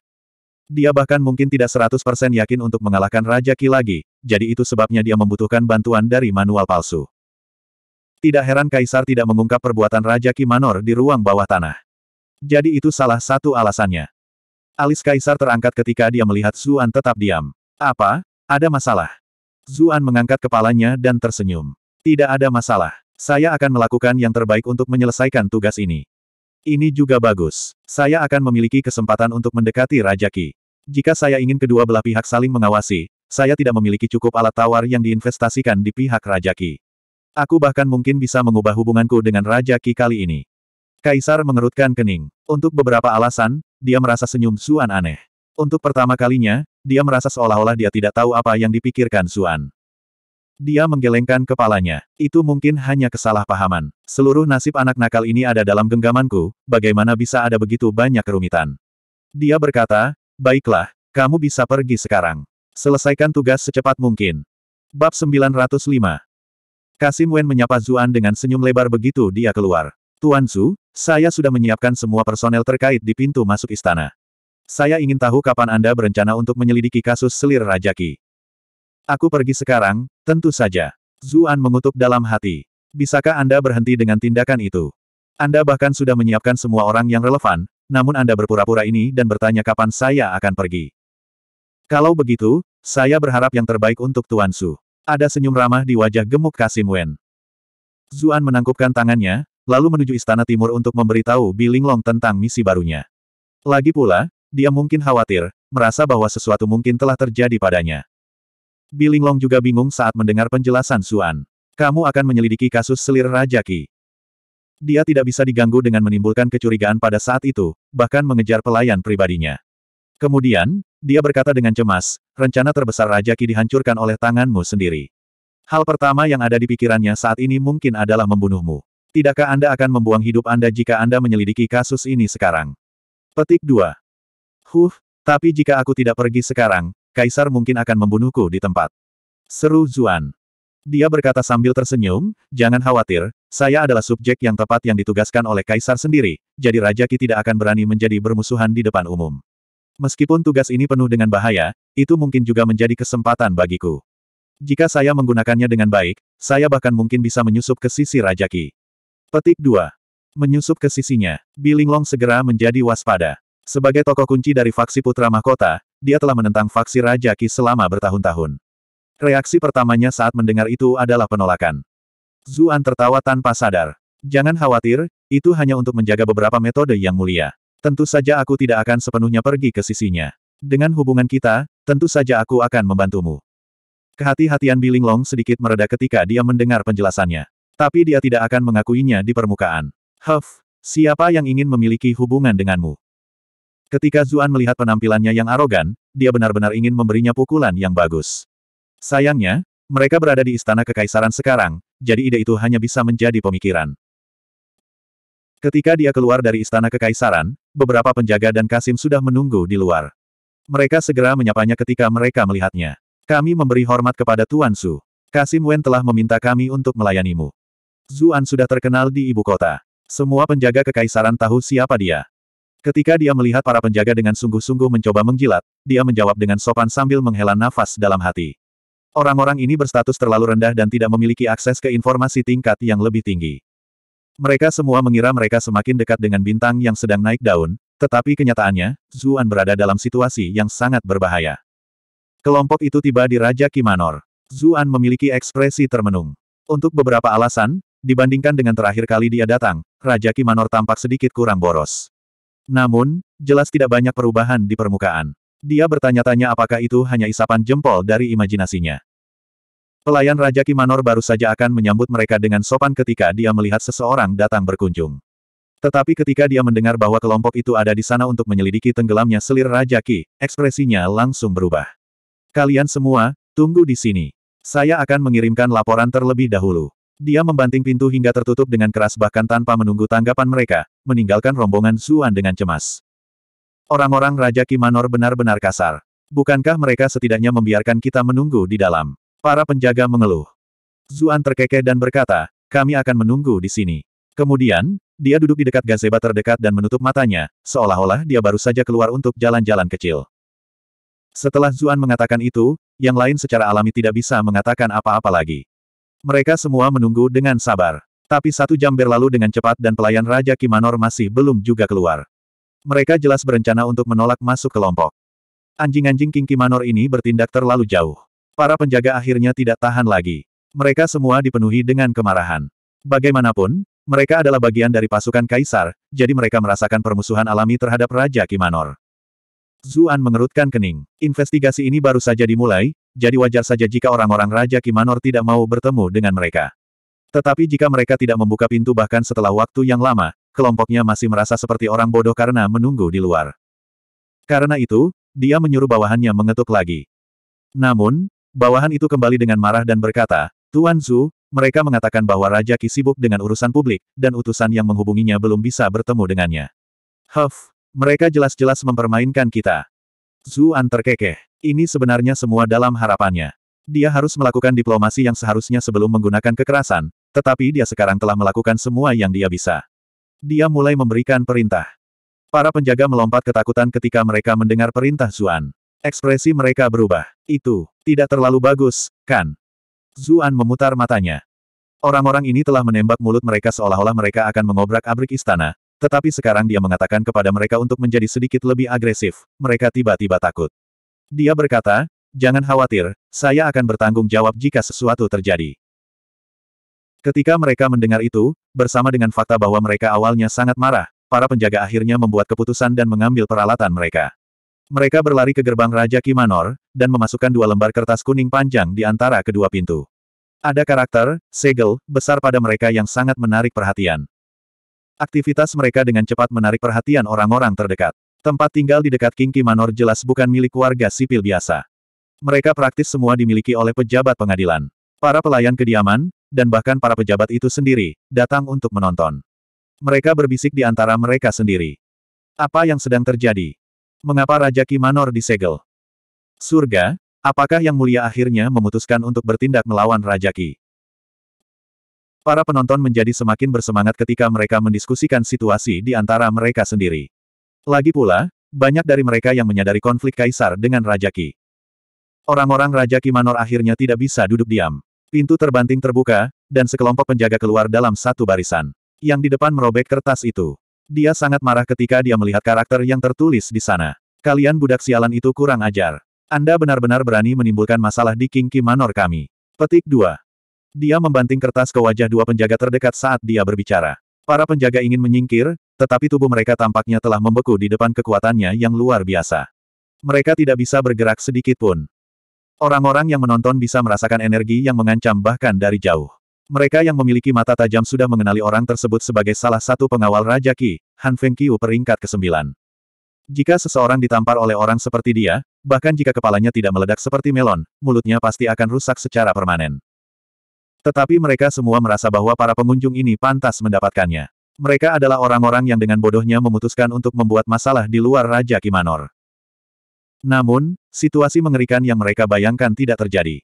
Sebuah tangan memblokir serangan menuju kedua penjaga, meraih tangan Han Fengqiu. Itu tidak bisa terus maju sama sekali. Hem, Han Fengqiu bingung. Tangannya yang lain juga bergerak. Kedua belah pihak bertukar dua telapak tangan, lalu berpisah. Setelah itu, para penonton akhirnya mengenali pemilik tangan yang lain itu. Bukankah itu Viscount Zuan topi hijau yang baru bangkit? Saya mendengar bahwa dia bertarung sejajar dengan Han Fengqiu sebelumnya, tetapi saya hanya menganggapnya sebagai rumor gila. Tapi hari ini, saya sudah melihatnya sendiri. Apakah Han Fengqiu berkultivasi selama bertahun-tahun untuk omong kosong? Anak muda itu sudah mengejarnya. Petik 2. Wajah Han Fengqiu berkedut. Komentar orang-orang di sekitarnya memotongnya seperti pisau. Pada saat yang sama, dia bingung. Zuan jelas-jelas jauh lebih rendah darinya terakhir kali, jadi mengapa mereka tiba-tiba tampak berada di level yang sama sekarang? Mata Zuan berkedut juga. Cara orang-orang di sekitarnya memanggilnya menusuk saraf. Han Fengqiu akhirnya tersentak dari pandangannya dan berkata dengan ekspresi tidak ramah, aku bertanya-tanya siapa itu. Jadi itu Tuan Zhu. Meskipun Sir Zhu telah membawa kembali kontribusi yang luar biasa dan telah menjadi tokoh populer di Istana Timur, datang jauh-jauh ke sini untuk Raja Manor kita dan memulai masalah menanggung kejahatan kekasaran, bukan? Petik 2. Ini adalah jenis pelanggaran yang bisa besar atau kecil. Jika itu adalah situasi yang tidak masalah, itu bisa dengan mudah disingkirkan. Tetapi jika mereka mau, mereka bisa menghasilkan banyak uang. Para penjaga yang datang bersama Zuan langsung merasa murung dan cemas. Jika Raja Qi ingin melanjutkan masalah ini, Menurut aturan, mereka mungkin akan dibuang sebagai hukuman. Zuan terkekeh dan menjawab, apa yang Tuan Han katakan? Kami sedang melakukan penyelidikan atas perintah yang mulia sekarang. Bagaimana ini memulai masalah? Han Fengqiu melemparkan kertas segel ke tanah.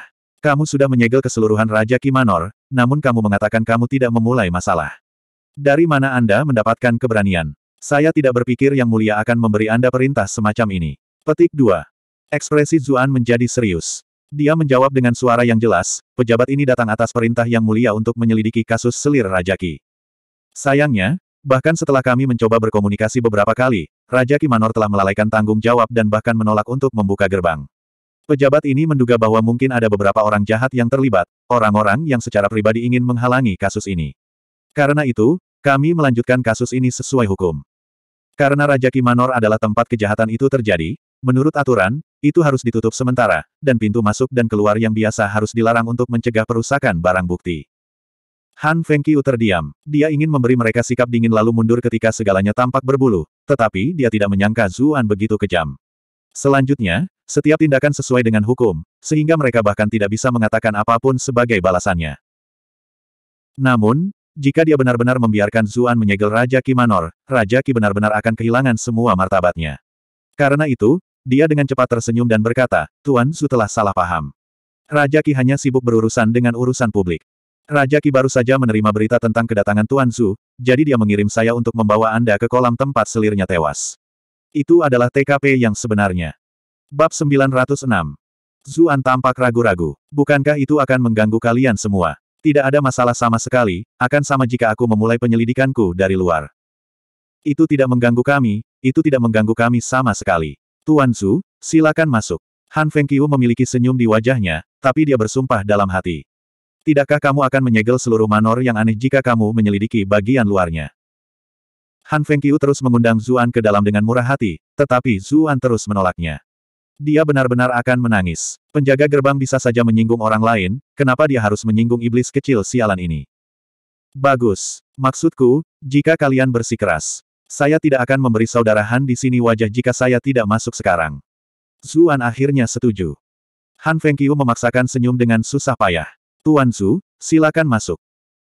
Anda telah berhasil mengendalikan Han Fengqiu untuk plus 233 plus 233 plus 233. Zuan melangkah masuk hanya setelah merasa dia mendapatkan jumlah poin kemarahan yang cukup besar dari cobaan itu. Bawahannya bertukar pandang dan melihat kekaguman di mata satu sama lain.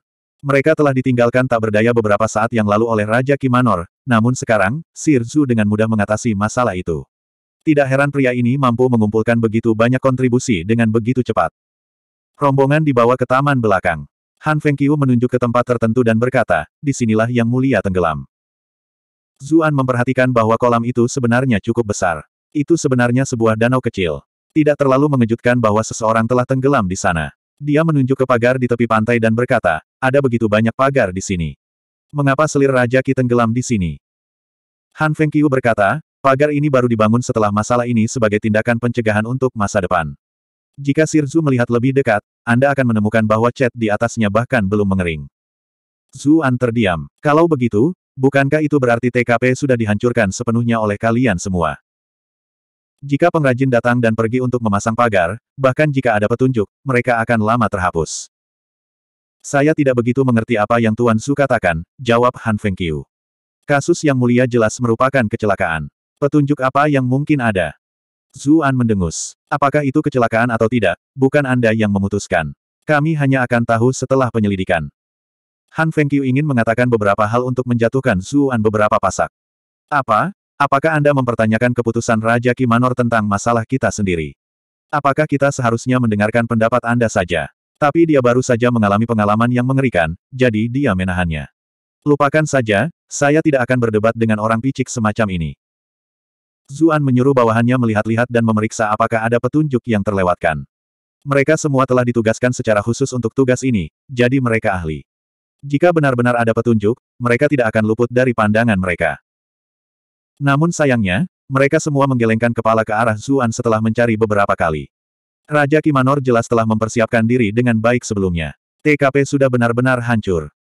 Zuan tidak mempermasalahkan hal itu lagi dan bertanya, di mana istana selir. Han Fengqiu agak ragu-ragu. Zuan bertanya sambil tersenyum, ada apa? Apakah tidak nyaman bagi kita untuk pergi ke sana? Petik 2. Han Fengqiu menggigil. Dia tidak tahu omong kosong macam apa yang akan dimulai anak ini selanjutnya dan dengan cepat berkata, tidak ada ketidaknyamanan yang nyata. Segera setelah itu, mereka tiba di sebuah halaman. Itu cukup besar, dan detailnya juga rumit dan indah. Ini jelas seorang selir yang telah menerima sedikit bantuan. Tapi banyak daun kering sekarang jatuh ke lantai. Halaman besar sekarang memiliki aura pengabaian yang aneh. Selain itu, bahkan tidak ada satu orang pun di sana. Seolah menebak pikiran Zuan, Han Fengqiu menjelaskan, halaman ini ditinggalkan setelah apa yang terjadi pada Yang Mulia. Para pelayan tidak berani datang lagi, karena takut menjadi angker. Zuan berkomentar sambil tersenyum, mungkin dihantui oleh roh pendendam. Ekspresi Han Fengqiu berubah. Tuan Su, tolong jangan katakan hal seperti itu. Pelayan bodoh itu secara naluriah takut pada hal-hal seperti hantu, tidak ada yang lebih dari itu. Zuan terkekeh dan tidak melanjutkan. Dia masuk ke dalam dan mulai melihat sekeliling. Han Fengqiu menjadi tanpa ekspresi. Tidak ada yang memalukan di dalam, jadi Zuan hanya bisa melihat semua yang dia inginkan. Zuan memberi perintah kepada bawahannya, lalu memasuki kamar selir sendirian. Masih ada aroma samar di ruangan itu. Sebagai selir Raja Ki, parfum yang dikenakannya cukup mewah. Aromanya dalam dan menyegarkan, tapi sayangnya, kecantikannya sudah mati. Dia membuka lemari ke samping dan melihat semua jenis gaun cantik. Dia tidak bisa menahan diri untuk tidak berkata dengan takjub, dia punya begitu banyak pakaian. Dia adalah selir Raja Qi, jadi dia tidak akan memperlakukannya dengan buruk, jawab Han Fengqiu. Zuan mengangguk, lalu bertanya dengan acuh tak acuh, apa yang dia kenakan pada malam dia pergi. Apakah dia mengenakan pakaiannya sendiri atau pakaian sipil? Han Fengqiu menjawab, pakaiannya sendiri. Tapi saya percaya mereka relatif lebih jelas dari biasanya. Petik 2. Zuan menatapnya dan berkata, dari suaranya, dia tampaknya mengenakan pakaian yang tidak terlalu mencolok untuk menghadiri beberapa pertemuan di tengah malam. Han Fengqiu berseru kaget, aku tidak mengatakan itu. Tolong jangan menaruh kata-kata di mulutku. Hal ini terkait dengan reputasi yang mulia, jadi Tuan Zu harus memperhatikan apa yang Anda katakan. Petik 2. Itu hanya lelucon. Anda tidak perlu terlalu gugup, Tuan Han. Zuan menepuk pundaknya, lalu mengantarnya keluar seperti itu. Seluruh tubuh Han Fengqiu menjadi kaku. Dia tidak terbiasa memiliki lengan pria lain di sekelilingnya seperti itu. Dia juga khawatir bahwa dia mungkin tiba-tiba disergap, karena dia tidak akan memiliki kesempatan untuk melawan saat itu. Namun, jika dia mendorong Zuan menjauh, bukankah mereka berdua akan benar-benar bermusuhan? Akan sangat menyebalkan jika Zuan menggunakan itu sebagai dalih untuk membuat keributan lagi. Setelah memikirkannya sebentar, dia memutuskan bahwa tidak ada alasan bagi Zuan untuk melakukan hal seperti itu di rumah mereka. Dia dengan demikian secara bertahap menjadi tenang. Namun, saat dia melakukan perjuangan internalnya, dia tidak menyadari bahwa Zuan telah mengambil satu set pakaian selir Raja Qi dan menyimpannya di Brilliant Glass Bed miliknya. Ketika mereka meninggalkan halaman, Zuan bertanya, bagaimana dengan pelayan dan pelayan yang secara pribadi melayani selir? Han Fengqiu berkata sambil tersenyum, saya sudah menyiapkan semuanya untuk Tuan Su. Dia menunjuk ke arah luar. Sekelompok pelayan dan perawat masuk. Ini adalah selir raja, jadi jelas tidak perlu ada pria yang hadir. Zuan memiliki ekspresi termenung saat dia berpikir, sepertinya orang-orang ini sudah sepenuhnya siap. Dia menyuruh bawahannya yang lain berbicara dengan gadis-gadis pelayan. Sementara itu, dia memanggil pelayan yang seragamnya jelas menunjukkan tingkat yang lebih tinggi ke dalam ruangan untuk menanyainya sendirian. Han Fengqiu menunggu di luar, tampaknya untuk menghindari kecurigaan. Siapa namamu? Zuan bertanya. Qiu Yue, kata gadis itu dengan kepala menunduk. Kamu adalah kepala pelayan dari selir Raja Qi. Iya. Karena kamu adalah kepala pelayan, mengapa kamu tidak mengikutinya malam itu? Dia akhirnya tenggelam tanpa ada yang membantunya. Suara Zuan menjadi dingin. Pelayan itu menjawab dengan khawatir, nyonya saya menyelinap keluar di tengah malam. Dia tidak memanggil kita. Zuan membalas dengan mencibir, sebagai pelayan pribadinya, kamu bahkan tidak tahu apa-apa ketika nyonyamu bangun di tengah malam. Pelayan itu dengan cepat menjawab, saya juga tidak tahu mengapa, tetapi saya tidur sangat nyenyak malam itu. Biasanya, saya akan bangun dari sedikit aktivitas.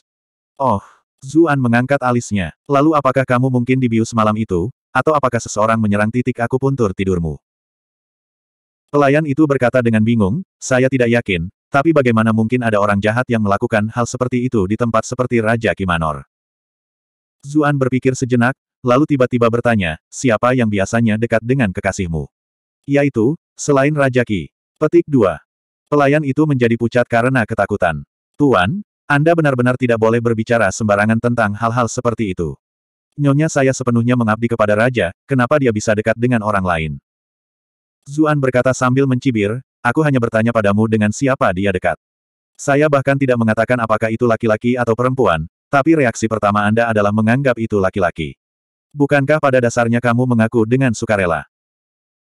Pelayan itu dengan cepat menjelaskan, Tuan, meskipun istana raja ini tidak dapat dibandingkan dengan istana kekaisaran, para selir sering berjuang untuk mendapatkan bantuan raja, jadi mungkin. Mungkin. Apakah kamu mengatakan mungkin ada beberapa kompetisi internal? Zuan mulai kesal dengan cara dia berbicara dan terus berbicara. Ekspresi pelayan berubah. Pelayan ini tidak berani berbicara gegabah tentang selir lain. Tapi dalam situasi seperti ini, nyonya saya tidak akan pernah terlalu dekat dengan wanita lain. Zuan kemudian bertanya, dengan siapa dia tidak akur? Siapa yang paling membencinya di manor ini?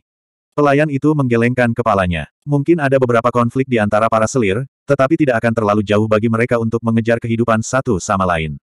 Meskipun Raja toleran, dia juga bijaksana dan brilian. Dia tidak akan pernah mentolerir siapa pun yang melakukan ini. Itu sebabnya selir lain tidak mau mengambil risiko seperti itu.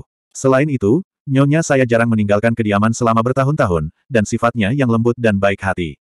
Jarang orang lain tidak menyukainya. Sulit bagi saya untuk percaya bahwa seseorang ingin membunuhnya. Lalu apakah kamu juga berpikir bahwa kematiannya adalah kecelakaan? Zuan menatap matanya. Raja kita juga menyelidiki masalah ini sebelumnya, dan dia memutuskan bahwa itu adalah kecelakaan. Mungkinkah ada motif tersembunyi lainnya? Tanya pelayan itu dengan bingung. Zuan mulai berpikir dengan tenang pada dirinya sendiri. Beberapa saat kemudian, dia memberi isyarat agar dia pergi. Namun, ketika dia sampai di depan pintu, dia tiba-tiba menghentikannya. Ngomong-ngomong, apakah nyonyamu memperlakukanmu dengan baik? Nyonya itu lembut dan baik hati, dan dia selalu memperlakukan bawahannya dengan sangat baik. Dia bahkan lebih seperti saudara perempuan bagiku. Tapi, tapi, ekspresi pelayan itu penuh dengan kesedihan. Dia mulai terisak pelan. Ketika dia melihat bahwa dia tidak akan bisa mendapatkan apa pun darinya, Zuan menunjukkan bahwa dia bisa pergi. Kemudian, dia berjalan keluar. Penjaga lain menyelesaikan interogasi mereka tak lama kemudian. Mereka menggelengkan kepala sedikit ke arahnya ketika mereka melihatnya. Mereka juga tidak memperoleh informasi yang berguna. Itu tampak sepenuhnya seolah-olah selir itu tidak sengaja tenggelam. Zuan berpikir sejenak, lalu meninggalkan halaman. Dia berkata kepada Han Fengqiu, saya harus menyusahkan Tuan Han untuk membawa kita ke kuburannya. Kita perlu memeriksa jenazahnya. Yang hidup bisa berbohong, tapi yang mati tidak. Ekspresi Han Fengqiu langsung berubah. Tidak, sama sekali tidak. Meskipun dia bukan istri utama Raja Qi, dia tetap wanita raja. Bagaimana kita bisa membiarkan orang lain menajiskannya? Petik 2. Bab 907. Zuan berkata sambil tersenyum, saya sedang menyelidiki kasus ini atas perintah yang mulia. Tentu saja, saya percaya Raja Ki juga. Orang-orang di rumah ini tidak akan menyakiti selir, tetapi tidak ada jaminan seperti itu untuk orang-orang biasa di luar. Anda tahu seberapa cepat gosip menyebar, jadi mungkin ada desas-desus bahwa Raja Ki membunuh selirnya sendiri hanya dalam beberapa hari, atau bahwa selir Raja Ki memiliki kekasih di belakangnya, dan itulah sebabnya dia dibunuh. Jika kita dapat menyelidiki mayat selir dan memastikan bahwa dia meninggal karena kecelakaan, kasus ini akan cukup untuk meyakinkan masa. Saya sedang mempertimbangkan hal-hal dari perspektif reputasi dan prestise Raja Ki di sini. Han Fengqiu terdiam. Reputasi Raja Ki di antara orang-orang sangat baik. Dia selalu dipuji sebagai orang bijak di antara raja-raja. Mengapa ada orang yang mengkritiknya seperti itu? Jika ada rumor keji seperti ini, itu mungkin akan dimulai dengan sengaja oleh anak nakal sepertimu. Dia tahu bahwa Zuan tidak dapat diprediksi. Jika dia tidak mengizinkan penyelidikan ini, Zuan mungkin benar-benar memulai sesuatu seperti itu. Tapi bagaimana dia bisa menyetujui sesuatu seperti memeriksa jenazah yang mulia? Kedua belah pihak dengan cepat mulai berdebat lagi. Tidak ada pihak yang mau mundur sedikit pun. Saat itu, sebuah suara bertanya dengan bingung, apa yang kalian semua perdebatkan di sini? Zuan berbalik, dan matanya berbinar. Dia melihat ada beberapa pasang pria dan wanita di dekatnya. Beberapa mengenakan pakaian mewah dan memiliki fitur yang sangat baik. Tapi yang paling menarik perhatian adalah pria cantik di bagian paling depan. Bukan karena dia berayun seperti itu, tapi dia terlalu tampan. Kulitnya seperti batu giok, pembawaannya anggun. Meskipun dia tampak sudah setengah baya, itu tidak mengurangi pesonanya sama sekali. Sebaliknya, itu membuatnya terlihat lebih tabah. Bersama dengan pakaiannya yang mewah namun tidak norak, dia akan menjadi sorotan dari kelompok mana pun. Sebenarnya ada seseorang yang tampan di dunia ini. Zuan sangat terkejut. Pria ini hampir sama tampannya denganku. Saya menyapa Putri Changshan, Tuan Yu, Tuan Lian, dan Nyonya Lian. Han Fengqiu menyapa orang-orang itu. Zuan terkejut, tetapi dia sudah menebak siapa orang-orang itu. Putri Changshan adalah adik perempuan kaisar. Dia telah menikah dengan tuan muda klan Yu ketika dia masih muda. Zuan menatapnya. Penampilannya biasa saja, tetapi aura mulia yang dia berikan menambahkan beberapa poin. Namun, karena tulang pipinya agak terlalu tinggi, itu membuatnya terlihat agak terlalu kasar dan garang. Bersama dengan fakta bahwa dia sedikit mirip dengan kaisar, sangat sulit bagi Zuan untuk memiliki kesan yang baik tentangnya. Pria yang sangat tampan itu adalah suaminya, asisten direktur sekretariat Yunan. Pria yang tampak jujur, di sisi lain, mungkin adalah direktur sekretariat Lian Yu. Benar-benar sangat aneh ketika Zuan memikirkannya. Lian Yu jelas adalah direktur sekretariat, dan Yunan seharusnya menjadi bawahannya, namun dia membiarkan Yunan berjalan di depan ketika mereka bergerak bersama. Terlepas dari temperamen Yunan yang menonjol, itu mungkin ada hubungannya dengan latar belakang keluarga mereka juga. Yunan adalah putra tertua dari klan Yu dinasti Zhou besar. Ayahnya adalah asisten rahasia kiri sekretariat kekaisaran saat ini, Yu Xuanchong. Klan Yu bahkan menjalankan bisnis batu ki terbesar, membuat mereka sangat kaya. Bersama dengan anggota klan yang menduduki posisi tinggi, itu membuat mereka menjadi salah satu klan terbesar dinasti Zhou. Adapun Lian Yu, meskipun latar belakangnya juga dibedakan, klan Lian tidak bisa dibandingkan dengan klan Yu sama sekali. Selanjutnya, istri Lian Yu adalah adik perempuan Yunan, jadi dia bisa dianggap sebagai menantu klan Yu. Ketika dia berjalan bersama dengan putra tertua klan Yu, Yunan, dia hanya bisa pucat jika dibandingkan. Zuan menatap wanita di sebelah Lian Yu. Jadi ini pasti istrinya. Dia terlihat jauh lebih cantik dari Putri Changshan. Seperti yang diharapkan dari seorang gadis dari klan Yu. Penampilan cantik Yu Yan Luo muncul di benaknya. Gen klan Yu benar-benar luar biasa. Prianya tampan dan wanitanya cantik. Tuan Han, apa yang kalian semua perdebatkan? Yunan mengambil inisiatif untuk bertanya padanya. Meskipun nadanya sopan, dia secara alami memiliki sikap arogan. Tapi Han Fengqiu tidak merasa itu berlebihan. Status Yunan memberinya hak untuk bertindak arogan. Karena itu, dia memberitahu mereka tentang apa yang terjadi. Jadi kamu Zuan? Yunan bertanya. Yang lain juga menoleh untuk melihat Zuan ketika mereka mendengar pertanyaannya. Bagaimanapun, Zuan telah menjadi karakter yang cukup panas selama beberapa waktu. Zuan mengerutkan kening ketika dia mendengar orang lain menyebut namanya begitu santai, nadanya penuh kesombongan. Dan siapa Anda? Dia membalas. Meskipun dia bisa menebak siapa mereka, mereka belum pernah bertemu sebelumnya. Tidak mengherankan baginya untuk tidak tahu siapa Yunan.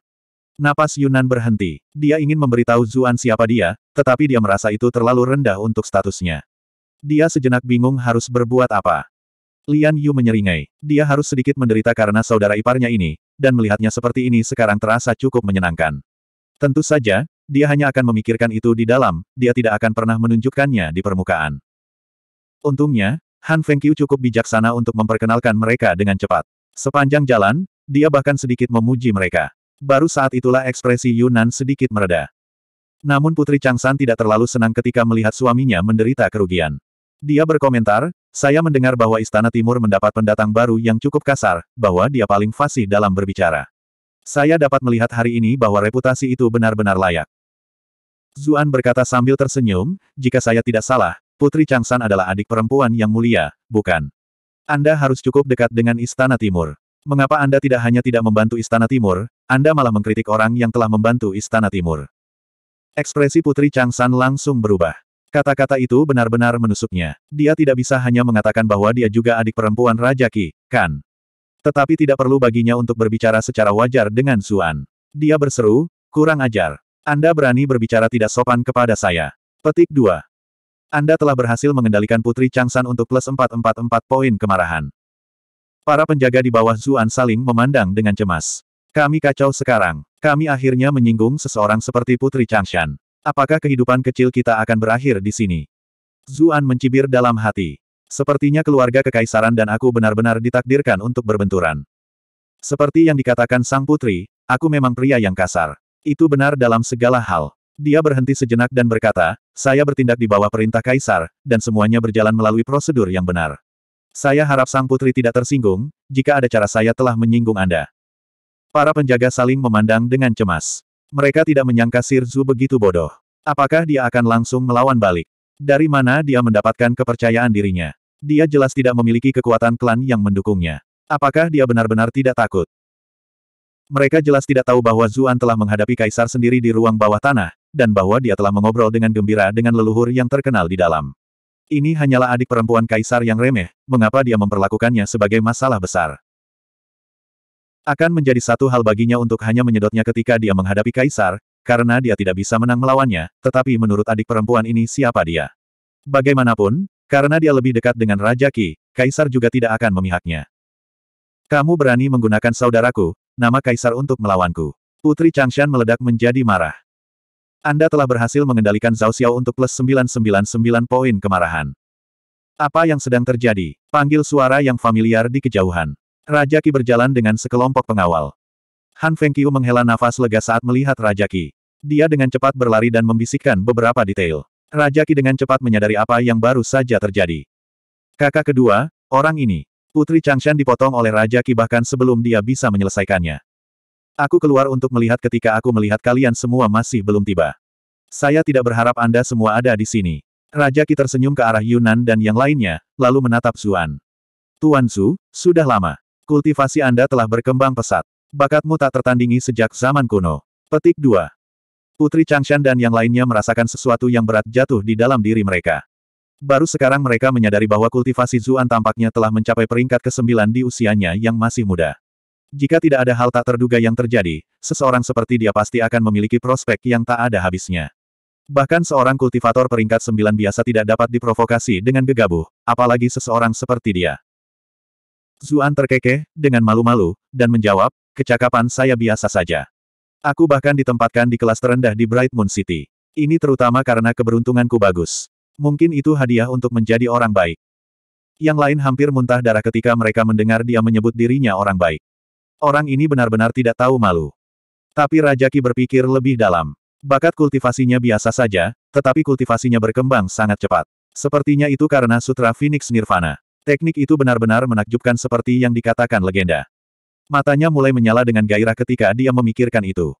Tuan Su, Anda datang pada waktu yang tepat. Saya sudah menyiapkan anggur di sini, jadi mengapa Anda tidak bergabung dengan kami? Bab 908 Yunan dan yang lainnya mengerutkan kening.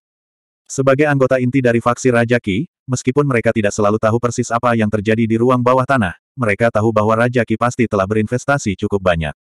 Namun pada akhirnya, semuanya gagal karena kurangnya usaha. Itu mungkin semua karena Zuan. Mereka berpikir, Anak ini sudah menjelaskan bahwa dia adalah kaisar dan anjing putra mahkota, jadi mengapa Anda mengundangnya? Tapi prestis Raja Ki sangat bagus. Meskipun mereka tidak memahaminya, mereka tidak akan benar-benar menentang keputusannya. Zuan sangat gembira. Ikan itu mengambil umpannya, tapi dia berpura-pura bermasalah di permukaan. Makanan mungkin agak tidak pantas. Lagi pula, saya masih memiliki kasus untuk diselidiki di sini. Petik 2. Raja Ki tersenyum. Anda bisa bertanya langsung kepada saya tentang pertanyaan Anda terkait kasus ini. Lagi pula, tidak ada yang lebih akrab dengan kasus ini di seluruh manor. Kita bisa membicarakannya perlahan di dalam. Dia benar-benar percaya diri pada para pembudidaya yang dia tempatkan di ruang bawah tanah. Lagi pula, dia bahkan telah mengirim empat pengawalnya yang kuat sebagai file safe. Meskipun begitu, itu masih menghasilkan kegagalan. Dia tidak tahu apa yang terjadi, tapi Zuan pasti tahu. Selanjutnya, kekalahannya terlalu pahit.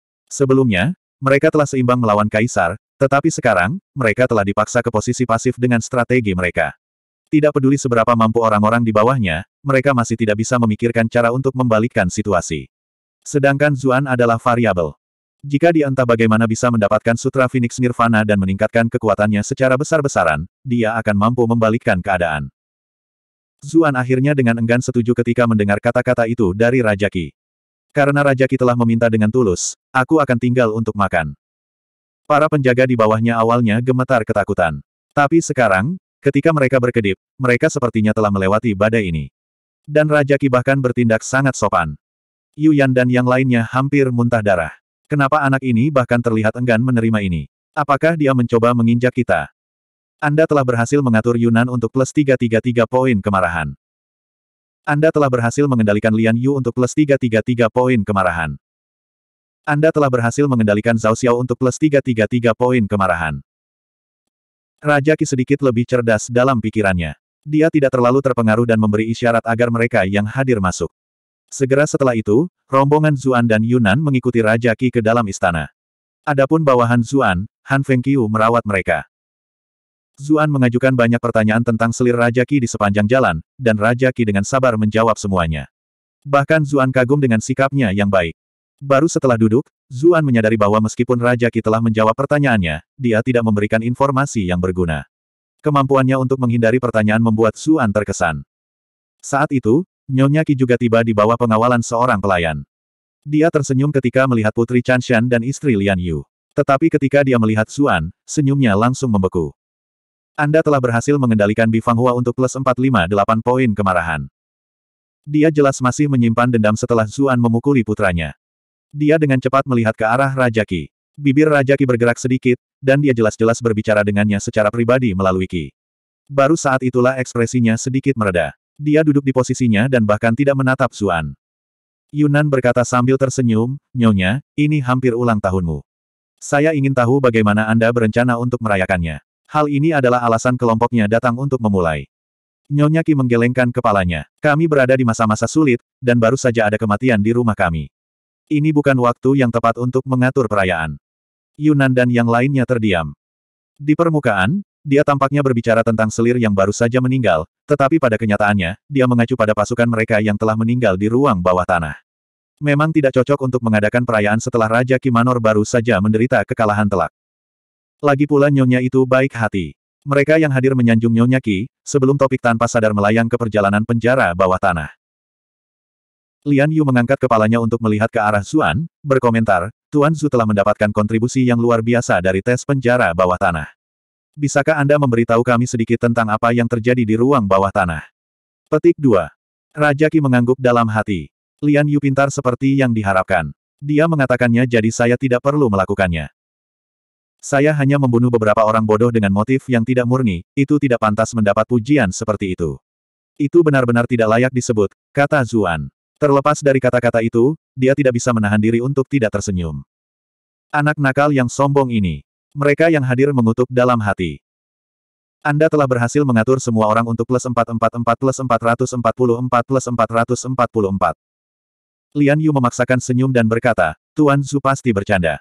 Bagaimana mungkin seseorang yang mendapatkan gelar Green Head Viscount, yang secara pribadi diberikan oleh Yang Mulia, tidak memiliki pencapaian yang luar biasa? Wajah Zuan berkedut saat mendengar kata, topi hijau. Dia merasa mungkin akan lebih baik jika dia tidak bekerja terlalu keras, jika semuanya akan berakhir seperti ini. Dia menjawab, kalian semua adalah subjek penting dari pengadilan. Saya yakin Anda sudah tahu tentang apa yang terjadi di ruang bawah tanah. Mengapa ada kebutuhan bagi Anda untuk bertanya kepada saya lagi? Petik 2. Saat itu, Raja Ki angkat bicara. Bagaimana beberapa laporan dapat dibandingkan dengan mendengar dari seseorang yang terlibat langsung? Saya harap Tuan Zu dapat menghilangkan kebingungan kami mengenai beberapa detail dalam laporan itu. Sayangnya, saya terlalu sibuk dengan kasus ini baru-baru ini, dan masalah memeriksa mayat selir yang terhormat itu sendiri sudah membuat pusing. Itu membuatku melupakan banyak detail dari Dungeon, kata Zuan sambil memegangi kepalanya, seolah-olah dia kesakitan. Ekspresi Yunan berubah di tempat. Konyol, kamu benar-benar berani mengancam Raja Ki. Raja Ki dengan cepat mengulurkan tangan untuk menghentikannya. Kakak ipar, kamu berbicara terlalu serius. Tuan Zu saat ini menanggung beban perintah yang mulia, dan kita semua tahu seperti apa saudaraku sang kaisar. Tuan Zu pasti merasa frustrasi dengan tugas ini, dengan nyawanya yang mungkin dipertaruhkan, jadi kekhawatirannya dapat dimengerti sepenuhnya. Mengapa kita tidak melakukan ini? Jika Tuan Zu memberitahu kami detail tentang apa yang terjadi di ruang bawah tanah, saya dapat mempertimbangkan untuk menyetujui pemeriksaan mayat Anda. Petik 2. Ekspresi yang lain berubah. Mereka akan mengatakan sesuatu yang lain, tetapi Raja Ki mengangkat tangannya dan menghentikan mereka. Zuan menatap Yunan dengan tatapan menghina. Tuan-tuan muda yang telah dimanjakan sejak lahir ini benar-benar kurang temperamen. Secara komparatif, Raja Qi jauh lebih cerdik. Zuan baru saja merusak rencananya yang telah disiapkan selama bertahun-tahun, namun dia tidak membiarkan emosinya memengaruhi keputusannya sama sekali. Sebaliknya, dia tidak hanya menabur konflik antara Zuan dan Kaisar, tetapi juga mencoba mengikat Zuan. Tidak heran dia bisa menghadapi Kaisar begitu lama. Karena Raja ingin mendengarkan, bagaimana mungkin aku tidak berani menuruti. Zuan segera mengubah sikapnya dan perlahan memberitahu mereka tentang apa yang terjadi di ruang bawah tanah. Raja Qi memiliki ekspresi aneh di wajahnya. Zuan berbicara tentang banyak detail yang belum dimasukkan dalam laporan, tapi dia masih belum mengatakan sepatah kata pun tentang kelompok Lu Xiao. Dia pada dasarnya tidak menerima apa pun setelah mendengarkan pembicaraan Zuan sepanjang hari. Seolah-olah dia telah mengajari Zuan pelajaran tentang melakukan hal-hal seperti itu di jalan, dan anak itu benar-benar belajar dengan cepat. Setelah Zuan menyelesaikan ceritanya, dia bertanya, bolehkah saya bertanya kapan saya bisa memeriksa jenazah selir yang mulia? Raja Qi tertawa. Aku bilang aku akan mempertimbangkannya, tapi setelah memikirkannya, aku merasa hal seperti itu tidak sesuai dengan etiket klan kerajaan. Aku harus menunggu keputusan yang mulia. Jika dia mengeluarkan dekrit, Sir Zu bisa datang dan memeriksanya. Zuan ingin memutar matanya ketika dia mendengar kata-kata itu. Kata-kata pihak lain sama sekali tidak berarti. Mengapa Kaisar pernah menulis dekrit seperti itu? Bukankah para tetua keluarga kerajaan akan mulai mengkritiknya? Lebih jauh lagi, Kaisar tidak ingin benar-benar memusuhi Raja Ki saat ini, jadi dia tidak akan memutuskan hubungan dengan Raja Ki karena hal ini. Sekarang suasana menjadi agak kaku, Nyonya Ki melangkah untuk memenuhi tugasnya. Dia memutuskan untuk beralih ke topik yang lebih ringan. Semuanya, jangan terlalu sibuk mengobrol sampai lupa tentang makanannya. Babi panggang di sini tidak akan enak setelah dingin. Hem, Yunan, mengapa kamu berhenti setelah hanya mencoba sepotong? Apakah makanannya tidak enak? Saya bisa memberitahu juru masak untuk mengubahnya lain kali. Petik 2. Yunan menggelengkan kepalanya. Koki Manor sangat baik, masalahnya adalah dengan bahan-bahannya. Petik 2. Hem. Tapi dagingnya dari babi berumur sebulan yang dipilih dengan cermat, jadi seharusnya tidak ada masalah, jawab Nyonya Ki dengan bingung. Yunan mendorong babi panggang di depannya. Babi kecil seperti ini bukanlah babi panggang yang masih muda. Babi menyusui sejati diberi makan dengan ASI setelah mereka lahir, dan kemudian disembelih setelah mereka berusia satu bulan. Itu menghasilkan daging yang paling lembut, dan hanya dengan begitu hidangan ini benar-benar dapat membenarkan namanya. Zuan mengerutkan kening dan bertanya, siapa di dunia ini yang akan memberi makan babi dengan susu manusia? Yunan berkata dengan nada acuh tak acuh, Tuan Zu berasal dari tempat kecil seperti kota Bright Moon, jadi bisa dimengerti jika Anda belum pernah mengalami ini sebelumnya. Ada selusin pengasuh anak yang berspesialisasi dalam memberi makan babi di rumah bawah. Saya akan mengirim Sir Zu satu hari lagi. Petik 2. Ekspresi Zuan berubah. Adakah orang yang hidup begitu mewah di dunia ini? Dia sama sekali tidak memperlakukan pengasuh yang menyusu itu sebagai manusia. Lupakan dia, bahkan Raja Ki dan yang lainnya mengerutkan kening. Lian Yu merasa lebih sulit untuk menerimanya dan berkata, apakah kamu tidak melangkah terlalu jauh? Anda sebaiknya berhati-hati, atau mungkin ada orang di pengadilan yang akan mengejar Anda karena bertindak terlalu jauh dengan pemborosan dan pemborosan. Yunan tampaknya tidak terganggu sama sekali. Apa yang salah dengan saya menghabiskan uang saya sendiri? Aku pasti tidak bisa hidup kikir sepertimu. Jangan pikir aku tidak tahu itu saat itu, ketika Raja mendengar bahwa buah persik pohon persikmu sangat manis dan ingin mencobanya, kamu diam-diam melubangi mereka karena takut dia akan menanam beberapa buah persikmu di kebunnya. Kebun sendiri. Huff, kamu mungkin tidak peduli dengan martabat, tapi klan Yuku peduli. Kamu bahkan bisa melakukan hal seperti itu. Petik 2. Zuan mau tak mau menatap Lian Yu. Dia kemudian memperhatikan bahwa meskipun pakaian yang terakhir cocok, ada beberapa area yang tampaknya telah kehilangan warna karena terlalu banyak dicuci. Bahkan perhiasan istrinya jelas lebih rendah daripada milik Putri Changshan dan Nyonya Qi. Istrinya berasal dari klan Yu, jadi bagaimana dia bisa kekurangan perhiasan? Wow, aku benar-benar tidak menyangka pria berpenampilan jujur ini menjadi orang seperti itu. Wajah Lian Yu memerah. Dia berseru dengan marah, yang diinginkan raja dariku adalah buah persik, dan dia tidak mengatakan bahwa dia akan menanamnya. Apa yang salah dengan saya memberinya hanya daging buah persik? Petik 2. Yunan tertawa. Kekikiranmu tidak ada hubungannya denganku, tapi tolong jangan buat adik perempuanku menderita bersamamu. Zuan merasa agak aneh sebelumnya.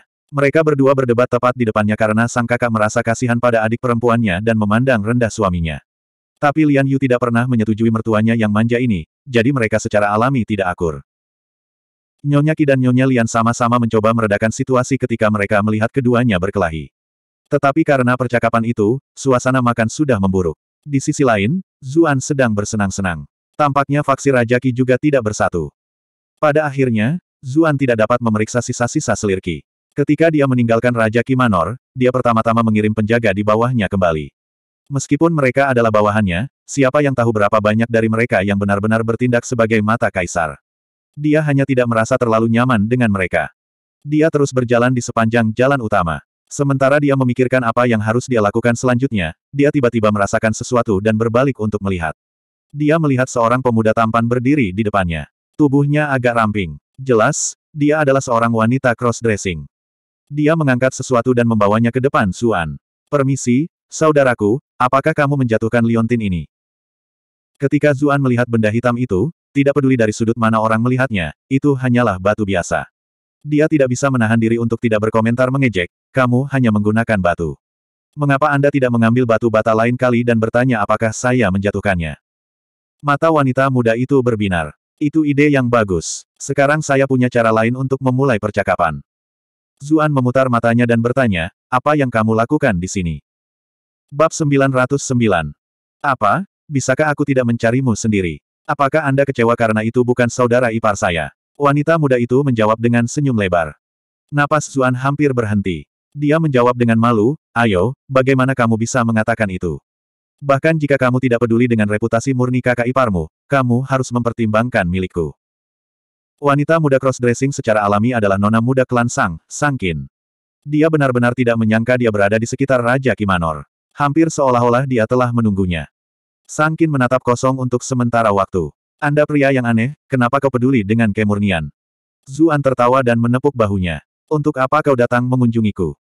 Seluruh tubuh Sangkin menegang ketika dia merasakan gerakannya. Dia dengan waspada menghindar ke samping. Apa yang sedang kamu lakukan? Pria dan wanita seharusnya tidak saling menyentuh dengan mudah. Zuan terkekeh dan berkata, kamu berpakaian seperti laki-laki sekarang, jadi kamu adalah laki-laki di mata semua orang. Bukankah normal bagi pria untuk saling berpelukan? Jika Anda menghindari saya seperti itu, itu hanya akan menimbulkan kecurigaan pada diri Anda sendiri. Ada banyak orang yang memperhatikanku di ibu kota, kau tahu. Sangkin tahu bahwa apa yang dikatakan Zuan adalah kebenaran. Bagaimanapun, dia adalah kunci yang selamat dari penjara bawah tanah. Sampai batas tertentu, dia telah menjadi titik fokus perjuangan putra mahkota dan Raja Ki. Ada mata dari kedua belah pihak yang mengawasinya, dan bahkan pihak ketiga akan mengawasi tindakannya dengan hati-hati. Karena itulah Sang Qin harus menyamar saat bertemu Zuan. Dia tidak ingin mengekspos klan Sang begitu cepat. Itu juga mengapa dia berhenti berjuang. Untungnya, Zuan tidak melangkah lebih jauh dari menyentuh bahunya dan tidak-tidak menghormatinya. Dia menghela nafas lega. Ayahku berkata bahwa kamu mungkin membutuhkan bantuan, jadi dia mengirimku untuk melihatnya. Sang Qin tersipu. Dia belum pernah berinteraksi begitu dekat dengan pria lain sebelumnya. Zuan tidak bisa menahan tawa. Sepertinya Tuan Sang sangat peduli padaku. Saya memang berada di tempat yang cukup sulit baru-baru ini. Petik 2. Dia memberitahu dia tentang tugas yang diberikan Kaisar kepadanya. Saya tidak mengerti apa yang bisa dilakukan investigasi semacam ini. Tidak mungkin Raja Kimanor akan bekerja sama, dan bahkan jika ada penyelidikan, tidak bisakah dia menugaskan orang lain untuk menyelidikinya? Kenapa dia harus memilihku? Saya sudah merusak rencana Raja Ki di penjara bawah tanah, jadi saya sudah memiliki target di punggung saya. Mereka gatal untuk menyingkirkanku. Sangkin mengerutkan kening dan berpikir sejenak. Zuan menatapnya dengan rasa ingin tahu. Gadis ini cantik, dan dia menarik bahkan ketika dia mengerutkan kening. Saya tahu apa yang sedang terjadi. Yang mulia pasti sengaja mengirimmu untuk tugas ini. Mata Sangkin tiba-tiba berbinar. Dia baru saja akan mengatakan sesuatu dengan penuh semangat, tetapi dia tiba-tiba berhenti ketika dia melihat tatapan tajam Zuan. Zuan tertawa dan menjawab, kapan Anda mulai terbiasa dengan hal-hal yang sudah jelas? Tentu saja Kaisar mengirim saya ke sini dengan sengaja. Petik 2. Sangkin menatapnya dengan kesal, tetapi dia masih menjelaskan, yang ingin saya katakan adalah bahwa Yang Mulia tidak pernah bermaksud agar Anda mengetahui apa pun. Alasan dia mengirimmu hanya untuk mengganggu Raja Ki. Dia melirik Zuan saat dia berbicara. Ketika dia melihat bahwa dia tidak menunjukkan banyak reaksi, dia kemudian melanjutkan, tugas ini juga dimaksudkan untuk mengalihkan perhatian Raja Qi. Jika kecurigaanku benar, Yang Mulia sebenarnya sedang merencanakan sesuatu untuk melawan Raja Qi. Zuan mengangkat alisnya. Dia berpikir bahwa alasan Kaisar mengirimnya adalah untuk lebih dekat dengan Raja Qi dan memberinya manual palsu. Dia tidak mengira Kaisar akan menyembunyikan lebih banyak rencana. Adik Kiner, Aku punya pendapat yang sama sekali baru tentangmu. Tangan Zuan di bahunya sedikit menegang. Sangkin memberinya tatapan kesal. Hanya khawatir tentang kasusmu. Meskipun Kaisar tidak berharap Anda menemukan apa pun, berkeliaran di sekitar Raja Kimanor hanya akan menempatkan Anda dalam bahaya besar. Anda adalah alasan mengapa Raja Ki sekarang berada dalam posisi yang sangat tidak menguntungkan. Jika Anda terus menari di depan mereka, bahkan jika Raja Ki dapat mentolerirnya, bawahannya tidak akan melakukannya. Zuan mengangguk ke dalam.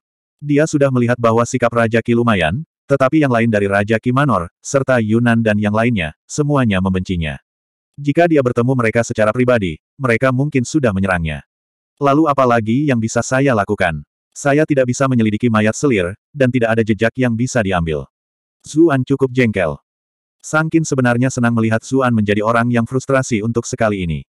Saya pikir lebih baik jika Anda menyerah pada pemikiran itu. Meskipun dia hanya seorang selir, dia adalah wanita rajaki. Tidak mungkin dia membiarkanmu memeriksa mayatnya. Yang mulia juga tidak akan pernah menuntutnya. Zuan bertanya, apakah ada koroner wanita di ibu kota? Sangkin menggelengkan kepalanya. Pemeriksa biasanya bekerja dengan mayat yang membusuk, jadi pekerjaan mereka biasanya dilakukan oleh laki-laki. Saya belum pernah mendengar seorang wanita bersedia melakukan hal seperti itu. Zuan mendengus. Saya percaya pada kesetaraan gender. Kenapa kalian melakukan diskriminasi berdasarkan jenis kelamin di dunia ini? Kesetaraan gender. Mata Sangkin berbinar. Kamu biasanya berbicara banyak omong kosong, tetapi ini adalah sesuatu yang baik untuk sekali ini. Hanya karena kamu mengatakan itu, kurasa aku bisa dengan enggan membantumu kali ini. Kamu tahu koroner wanita? Zuan bertanya, bingung. Aku sudah memberitahumu bahwa tidak ada wanita yang mau melakukan hal seperti itu. Tapi, suara Sangkin berubah ketika dia berkata, aku tahu satu atau dua hal. Zuan tercengang. Kenapa kamu tahu hal seperti itu? Ada saat ketika saya bosan, jadi saya belajar sedikit tentang setiap profesi, kata Sangkin karena malu. Lagi pula, bermain-main dengan hal-hal seperti mayat bukanlah sesuatu yang seharusnya dibanggakan oleh seorang gadis. Tapi bahkan jika aku tahu beberapa hal, itu tidak berguna. Tidak mungkin Raja Ki Manor akan membiarkan kami memeriksa mayatnya. Zuan tersenyum. Aku punya cara. Saat sudah larut malam, dia membawa Sangkin ke dekat Raja Ki Manor. Dia melihat ke dinding yang tinggi dan bertanya sambil memutar matanya, jadi ini solusimu. Zuan menyiapkan peralatan yang mereka perlukan sambil berkata, karena tidak mungkin mereka menyetujui pemeriksaan, kami akan melakukannya sendiri. Jangan khawatir, saya punya beberapa topeng di sini yang akan mengubah penampilan Anda. Mereka tidak akan memberikan identitas aslimu bahkan jika kita ketahuan. Sangkin mau tidak mau mengoreksinya. Mereka jelas akan mengetahui bahwa kita memakai topeng jika mereka menangkap kita.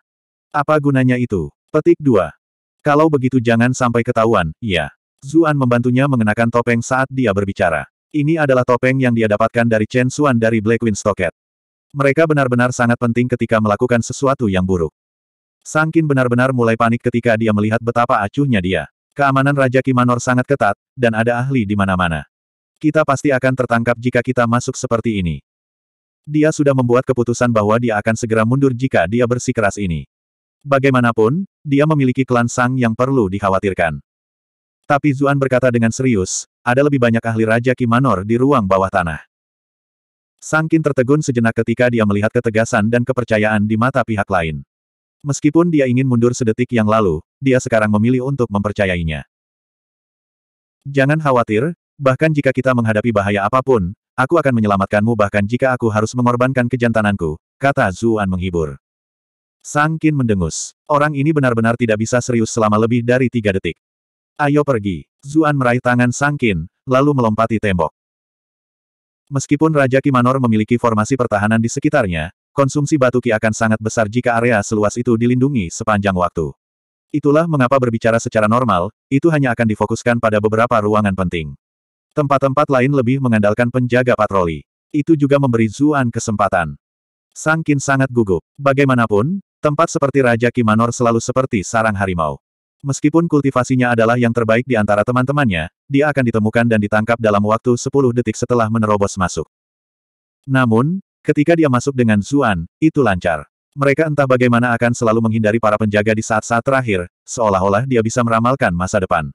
Itu hampir seolah-olah mereka hanya berjalan-jalan melalui tempat itu.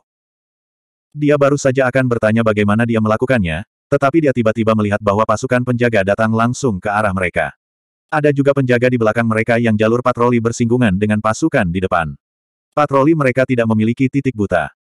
Wajah Sangkin memucat, karena mereka tidak punya tempat untuk lari. Mereka akan ketahuan dalam beberapa saat. Kemudian, ahli Raja Kimanor yang tak terhitung jumlahnya akan mengikuti, bergegas setelah mendengar alarm. Bab 910 Saya tidak percaya saya membiarkan orang ini menipu saya untuk melakukan ini. Sangkin sangat panik sehingga dia hampir menginjak kakinya. Pada saat yang sama, dia dengan cepat memikirkan bagaimana mereka akan menghadapi akibatnya. Dengan identitasnya, Raja Ki mungkin tidak akan membunuhnya, tetapi menerobos masuk dan berkonspirasi melawannya adalah masalah besar yang bisa berakhir sangat buruk. Ayahnya akhirnya membuat sedikit comeback, tetapi dia mungkin kehilangan jabatannya karena ini. Bagaimanapun, ayahnya pasti seseorang di pihak kaisar. Raja Ki bahkan bisa menggunakan ini untuk mengancam klan Sang dan membawa mereka ke sisinya. Jika itu terjadi, klan Sang akan berada di bawah kekuasaan Raja Ki. Dia bahkan berpikir untuk memastikan dia memiliki pengakuan yang sama dengan Zuan, untuk memberitahunya apa yang harus dikatakan sehingga mereka tidak akan dihukum sebanyak itu. Tapi siapa yang mengira dia akan menangkapnya, lalu melompat langsung ke kolam ke samping. Sangkin berpikir dalam hati, apa gunanya? Keamanan Manor adalah semua personel berpengalaman. Mereka pasti akan menyadari jika mereka melompat langsung ke air dan menyebabkan keributan besar. Tapi dia benar-benar terkejut. Mereka tidak membuat satu suara pun ketika mereka melompat ke dalam air. Permukaan air seolah-olah dibelah oleh sepasang tangan yang tak terlihat. Kemudian, setelah mereka masuk ke dalam, air menutup kembali dengan sendirinya. Bahkan tidak ada satu riak pun. Yang lebih mengejutkan adalah dia telah merencanakan untuk menahan napas. Dia bahkan bertanya-tanya apa yang akan dia lakukan nanti jika Zuan ingin memberinya oksigen. Haruskah dia menolaknya atau tidak? Plot seperti itu selalu terjadi dalam novel-novel romantis itu. Kenapa kamu menatap mulutku? Zuan bertanya, bingung. Siapa? Siapa yang menatap mulutmu? Sangkin tersipu dan dia dengan cepat membuang muka. Tapi yang mengejutkan adalah dia sama sekali tidak merasa berada di bawah air. Lingkungannya kosong, dan ada udara segar. Seolah-olah mereka berdua berada dalam gelembung transparan. Apa yang sedang terjadi? Sangkin terkejut. Penjaga patroli sudah dekat, dan dia takut mengekspos dirinya dengan suaranya. Dia hanya bisa mendekat ke Zuan dan berbisik ke telinganya. Sementara itu, Zuan menikmati seluruh prosesnya. Dia juga mendekatinya dan berbisik, apakah adik Kiner mencoba menggodaku dengan datang begitu dekat? Saya seorang pria yang sudah menikah, Anda tahu. Petik 2. Sang Qin terdiam. Dia mendorongnya kembali seperti kelinci yang terkejut. Si idiot ini bisa masuk neraka. Hanya ketika para penjaga itu pergi, Zuan meraih Sang Qin dan muncul kembali ke permukaan. Sang Qin bahkan tidak bisa diganggu untuk marah ketika dia melihat tidak ada setetes air pun di atasnya. Dia bertanya dengan tenang, bagaimana kamu melakukannya? Sebuah rahasia. Zuan terkekeh. Itu jelas karena efek afinitas elemen Blue Malert, tetapi penggunaan elemen yang rumit adalah sesuatu yang telah diajarkan Mili padanya.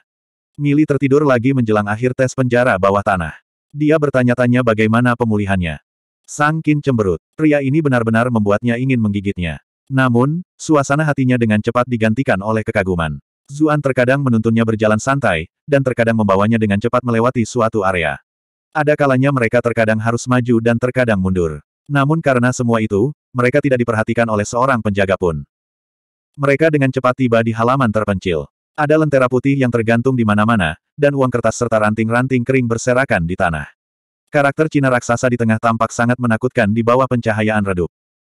Zuan sudah menyuruh bawahannya melihat-lihat daerah itu pada siang hari. Di sanalah peti mati selir itu berada. Menurut kepercayaan tradisional dunia ini, arwah yang telah meninggal akan tetap berada di dunia untuk jangka waktu tertentu dan tidak dapat segera dikuburkan. Hanya pada hari ketujuh setelah kematian mereka, roh kemudian kembali untuk melihat. Kemudian, itu akan memasuki siklus reinkarnasi. Itu berarti setidaknya tujuh hari harus berlalu sebelum mereka bisa dikuburkan. Hari ini kebetulan adalah hari ketujuh setelah selir Raja Ki meninggal.